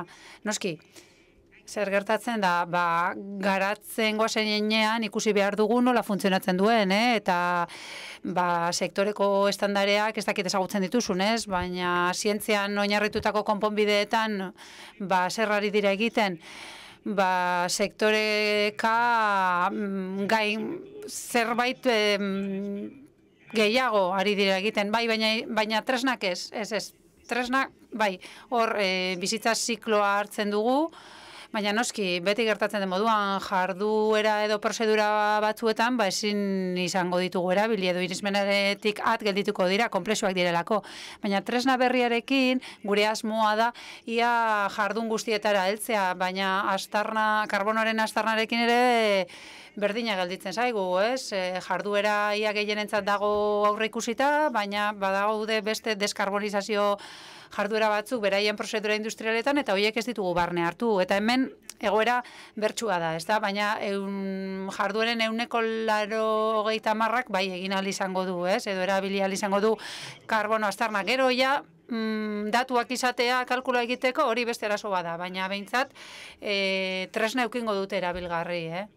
Bai, baina beste bi galdera nahi ditut egin, ez dut monopolizatu nahi, baina ia konbertsio faktoreak, ez da? bueno, nik ezagutzen ditut erresuma batukoak eta uste dut denok erabiltzen ditugunak direla, baina esan duzu batzuk e, espezifikoak izango direla edo egokitu egingo direla, bai, ja.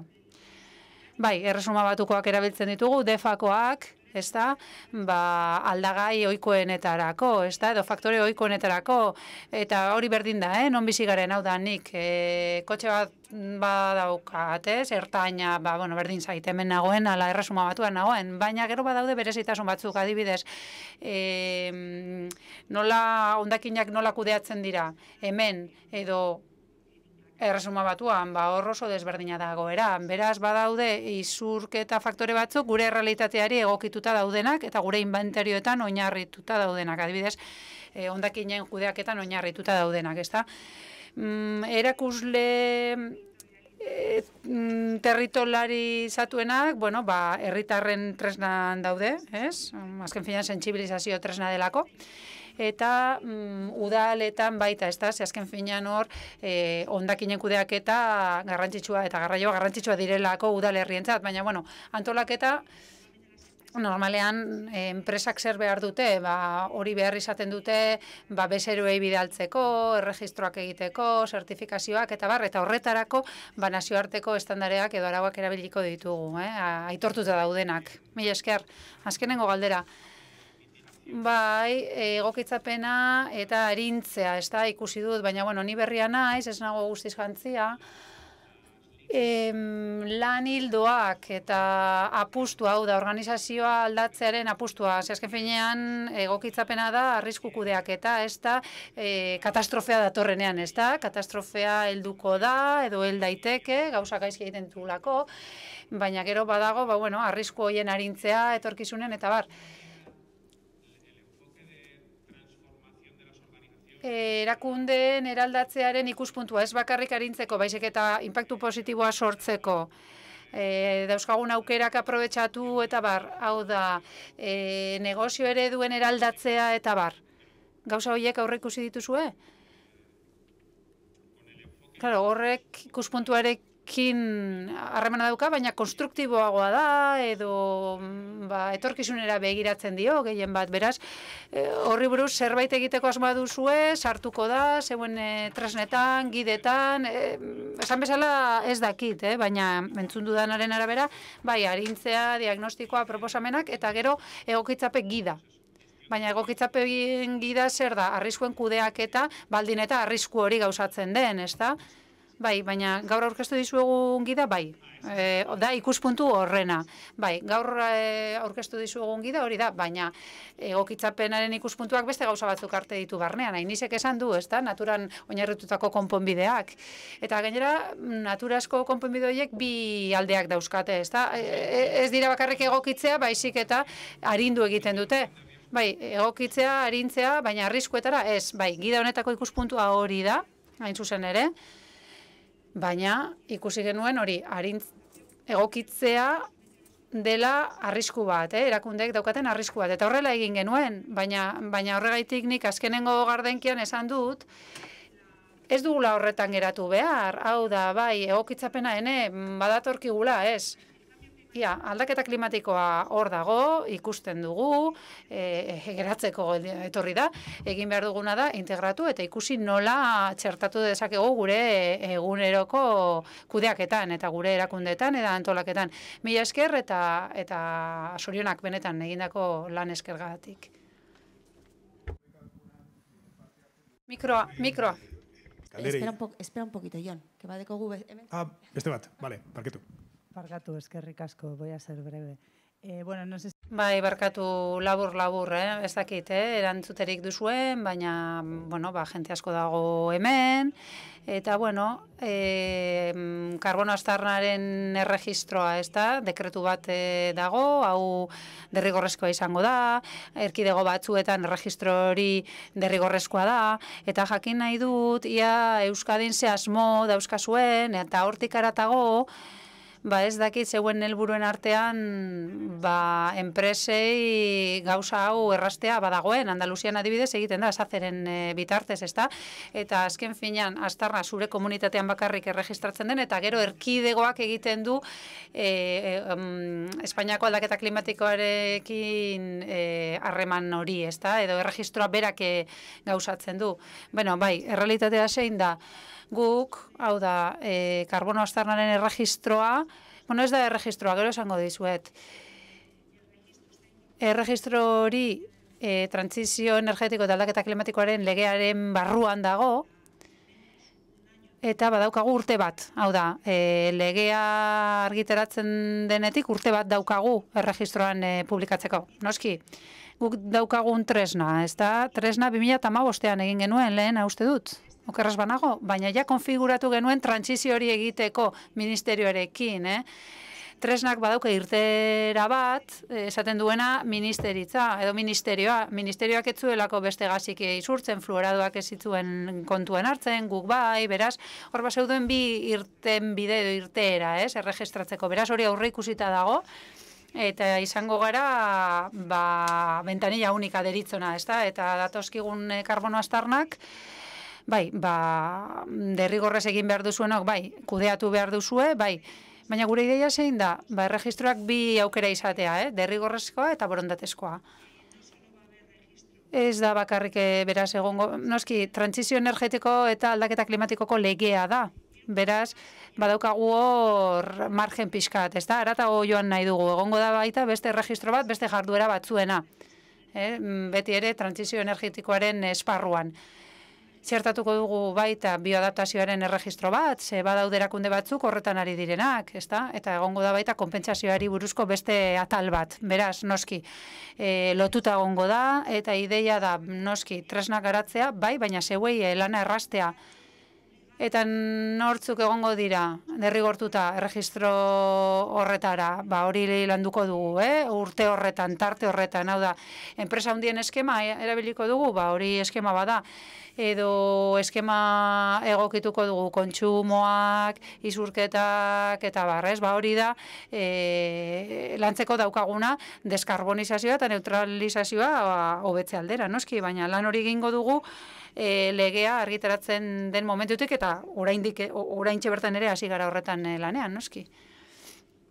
Además de algunas de las preguntas están recogidas. Bai, bueno, ba, hemen egiten ari zareten galderez gain, online ere beste galdera batzuk eh, planteatu dira, eta behar bada, azken eh, hitzartze honetan, ba, eman dira erantzun batzuk, ez da, validazioa, karbonastarnen registroa enpresentzat, eh, nola egin lotura hori ministerioarekin, Carlosi zuzendutako galdera bat zegoen, kartografia deskargatzeko aukera egongote da? El proiektu koste egoki, la cartografía en concreto.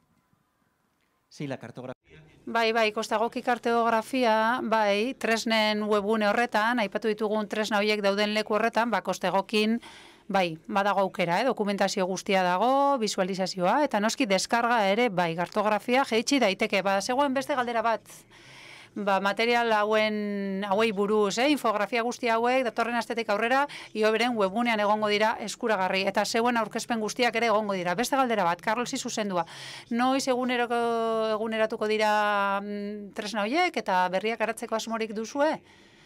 Beno, Bai, batresnak e, eguneratu al izango dira, baina segun eta ezagutza zientifikoa nondik nora doan, ez da? Eta, eta baldin eta beharra badagoen, hobetzeko eta baita badauzkagun eskakizunen e, arabera, ez da? Azken finean, e, erabiltzaileen arabera izango da. Or, hain zuzen ere, horregaitik ari gara, e, aurkezpen hau egiten gaur, ez da? Aipatu dugu, bidaliko dugu inkesta bat, eta gure asmoa da jakitea, zeintzu diren premiak, e, pertsonek zer behar duten edo erakundeek zer behar duten eta eta lanean e, jartzea noski. Bai, hemen esandakoaz gain badago beste galdera bat ez dakit nori zuzendua. Bai, arriskuak kostaldean, baina Iobek kalkulatuko du baita beste alderdi batzuetan dauden arriskuak. Bai, bai, horretan ari gara beste sektore batzuetan.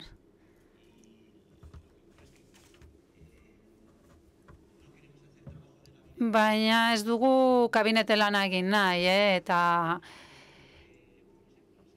eta garraioarei buruzko txosten bat atera, ez da, orain modan dagolako, baina garraio sektorearekin egon gabe, ez da, bueno, en fin, beste sektore batzuetan ere lanean diar dugu, pixkanakagoaz, eta bai, bai, gure asmoa bada, ba, esan bezala bildu ditugu galdera batzuk eta erantzun guztiak egongo dira jo beren webgunean, ez dakit norbaite galderaren bat egin nahi duen, hemen gelan.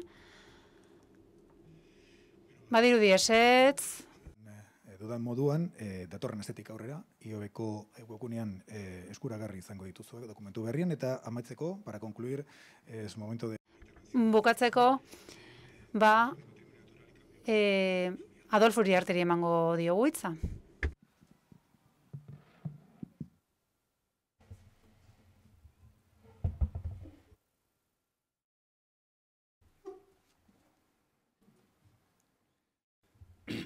bueno, jardunaldi istea egokitu zait. Como digo, me toca cerrar. Niri dagokit jardunaldia istea, ez daukate ser prest, baina gustatuko litzaidake eskerrak ematea lehenik eta behin talde soragarriari iobeko talde soragarriari Marimar Alonso da zuzendaria itxalean da zuzendaria baina bai hor dagoen arren atzean dagoen arren bera da zuzendaria. Taldeari esan beharra daukat sailburu ordetzatik eta saietik eta jasangarritasuneko sailburuetatik oso harro gaudela emakumeak dira gehiena, Carlos sentitzen du salbuespena zarelako, baina oso harro gaude emakumezkoen talde honetaz. Horregatik eskerrik asko. Eskerrik asko eta ez hoiek zuei, eskerrik asko eta sorionak zuei ere bai. Nik uste dut ezagutza sare itzela dugula entitate asko ditugu lanean eremu honetan atzean daude, lan egiten dute horiek guztiak elkarrekin, ioberekin batera, eta horiek dira atxikitako zentroak. Basque Research Technology Alliance da, zeiru, hiru unibertsitate ditugu, Euskal Herriko Unibertsitatea, Mondragoneko Unibertsitatea eta Deustuko Unibertsitatea, baina beste asko ere bai, hasi bezalako zentro asko daude, ezagutza sortzaileak dira, eta besterik gabe makineria hori sortu behar dugu, gero eta ezagutza gehiago sortzeko eta lanean jarraitzeko tresna hauek garatzeko, eta gaur esan den bezala, amaienan hause erditzea izan da jarraitu behar dugu tresnak lantzen, eguneratu behar dira, lan egiten jarraitu behar dugu, gure ezagutza elikatzen jarraitu behar dugu, gaurko ezagutza biharko ignoratzea delako, ikertu behar da, bestela sarkituko direlako, eguneratzen jarraitu behar dugu, apurka, apurka, lan egin behar dugu, ikusi behar dugu, zeintzuk diren klima aldaketaren parametroen ebalu, e, evoluzioa edo bilakaera jakin behar dugu nola bilakatzen den klima aldaketa gure lurraldean bertan. Jakiteko, zer egin behar dugun une bakoitzean. Eta zer nolako erabakiak hartu behar ditugun ere bai politikaren ere mutik, kudeaketaren ere mutik. Horrela eraginak morreizteko, harintzeko, eta horrela lortzeko gure bizimodua alik eta gutxien aldatzea. Eta gizartea, ahalik eta komprometituena izan dadin baita eskuzabalena ere eta solidarioena ere klima aldaketa bezalako hain gai garrantzitsu batean. Gutxi falta zaite esateko? Oso garrantzitsua da azpimarratzea tresna hauek baliagarriak izango direla herritarrentzat, enpresentzat, baina horrez gain baliagarriak izan behar dira administrazioarentzat ere bai. Izan ere, oinarrituta daude zientzia zagutzarik onenean, erabaki zaiak hartzeko. Badakigu, erabaki zaiak hartu behar ditugula, baina erabaki horiek ausartak dira azken finean. Oinarrituta daude zagutzarik onenean agian, oker egongo gara, baina erabakiak hartu behar dira, akatzak egin arren badakigu zein den energiaren sorkuntzaren arazoa. Energia berriztagarriagoetara joan behar dugu. Beharrezkoa da hori, lan egiten jarraitu behar dugu hildo horretatik, baina horrez gain, jakin badakigu sortzen ditugun energia guztiek dutela eragina ingurumenean. Esan den bezala, lan egiten ari da eta espero dugu aurten tresna batzuk aurkeztu alizatea klima aldaketaren eraginarekin eraginarekin lotutakoak eta biodibertsitatearen eremuan. Biodibertsitateak ere laguntzen digu lurralde erresilentea izaten. Argi dago, Oreka bilatu behar dugula. Oso zaila da, oreka hori lortzea, oso oso zaila da, baina espero dut ioberen laguntzarekin lortu alizatea. Baita entitate eta ezagutza sortzeko zentro guztien laguntzarekin ere gai izatea erabakiak hartzeko. Esan bezala, erabakia ausartak izan beharko dira, baina hartu beharko ditugu. Eta horrekin besterik gabe eskerrik asko guztioi hemen egoteagatik, online zaudeten hoi, eskerrik asko bulegoetan zaudeten hoi, eskerrik asko jardunaldietara etortzeagatik eta berriro ere nire esker onik zabalena eta eskerrik asko bai.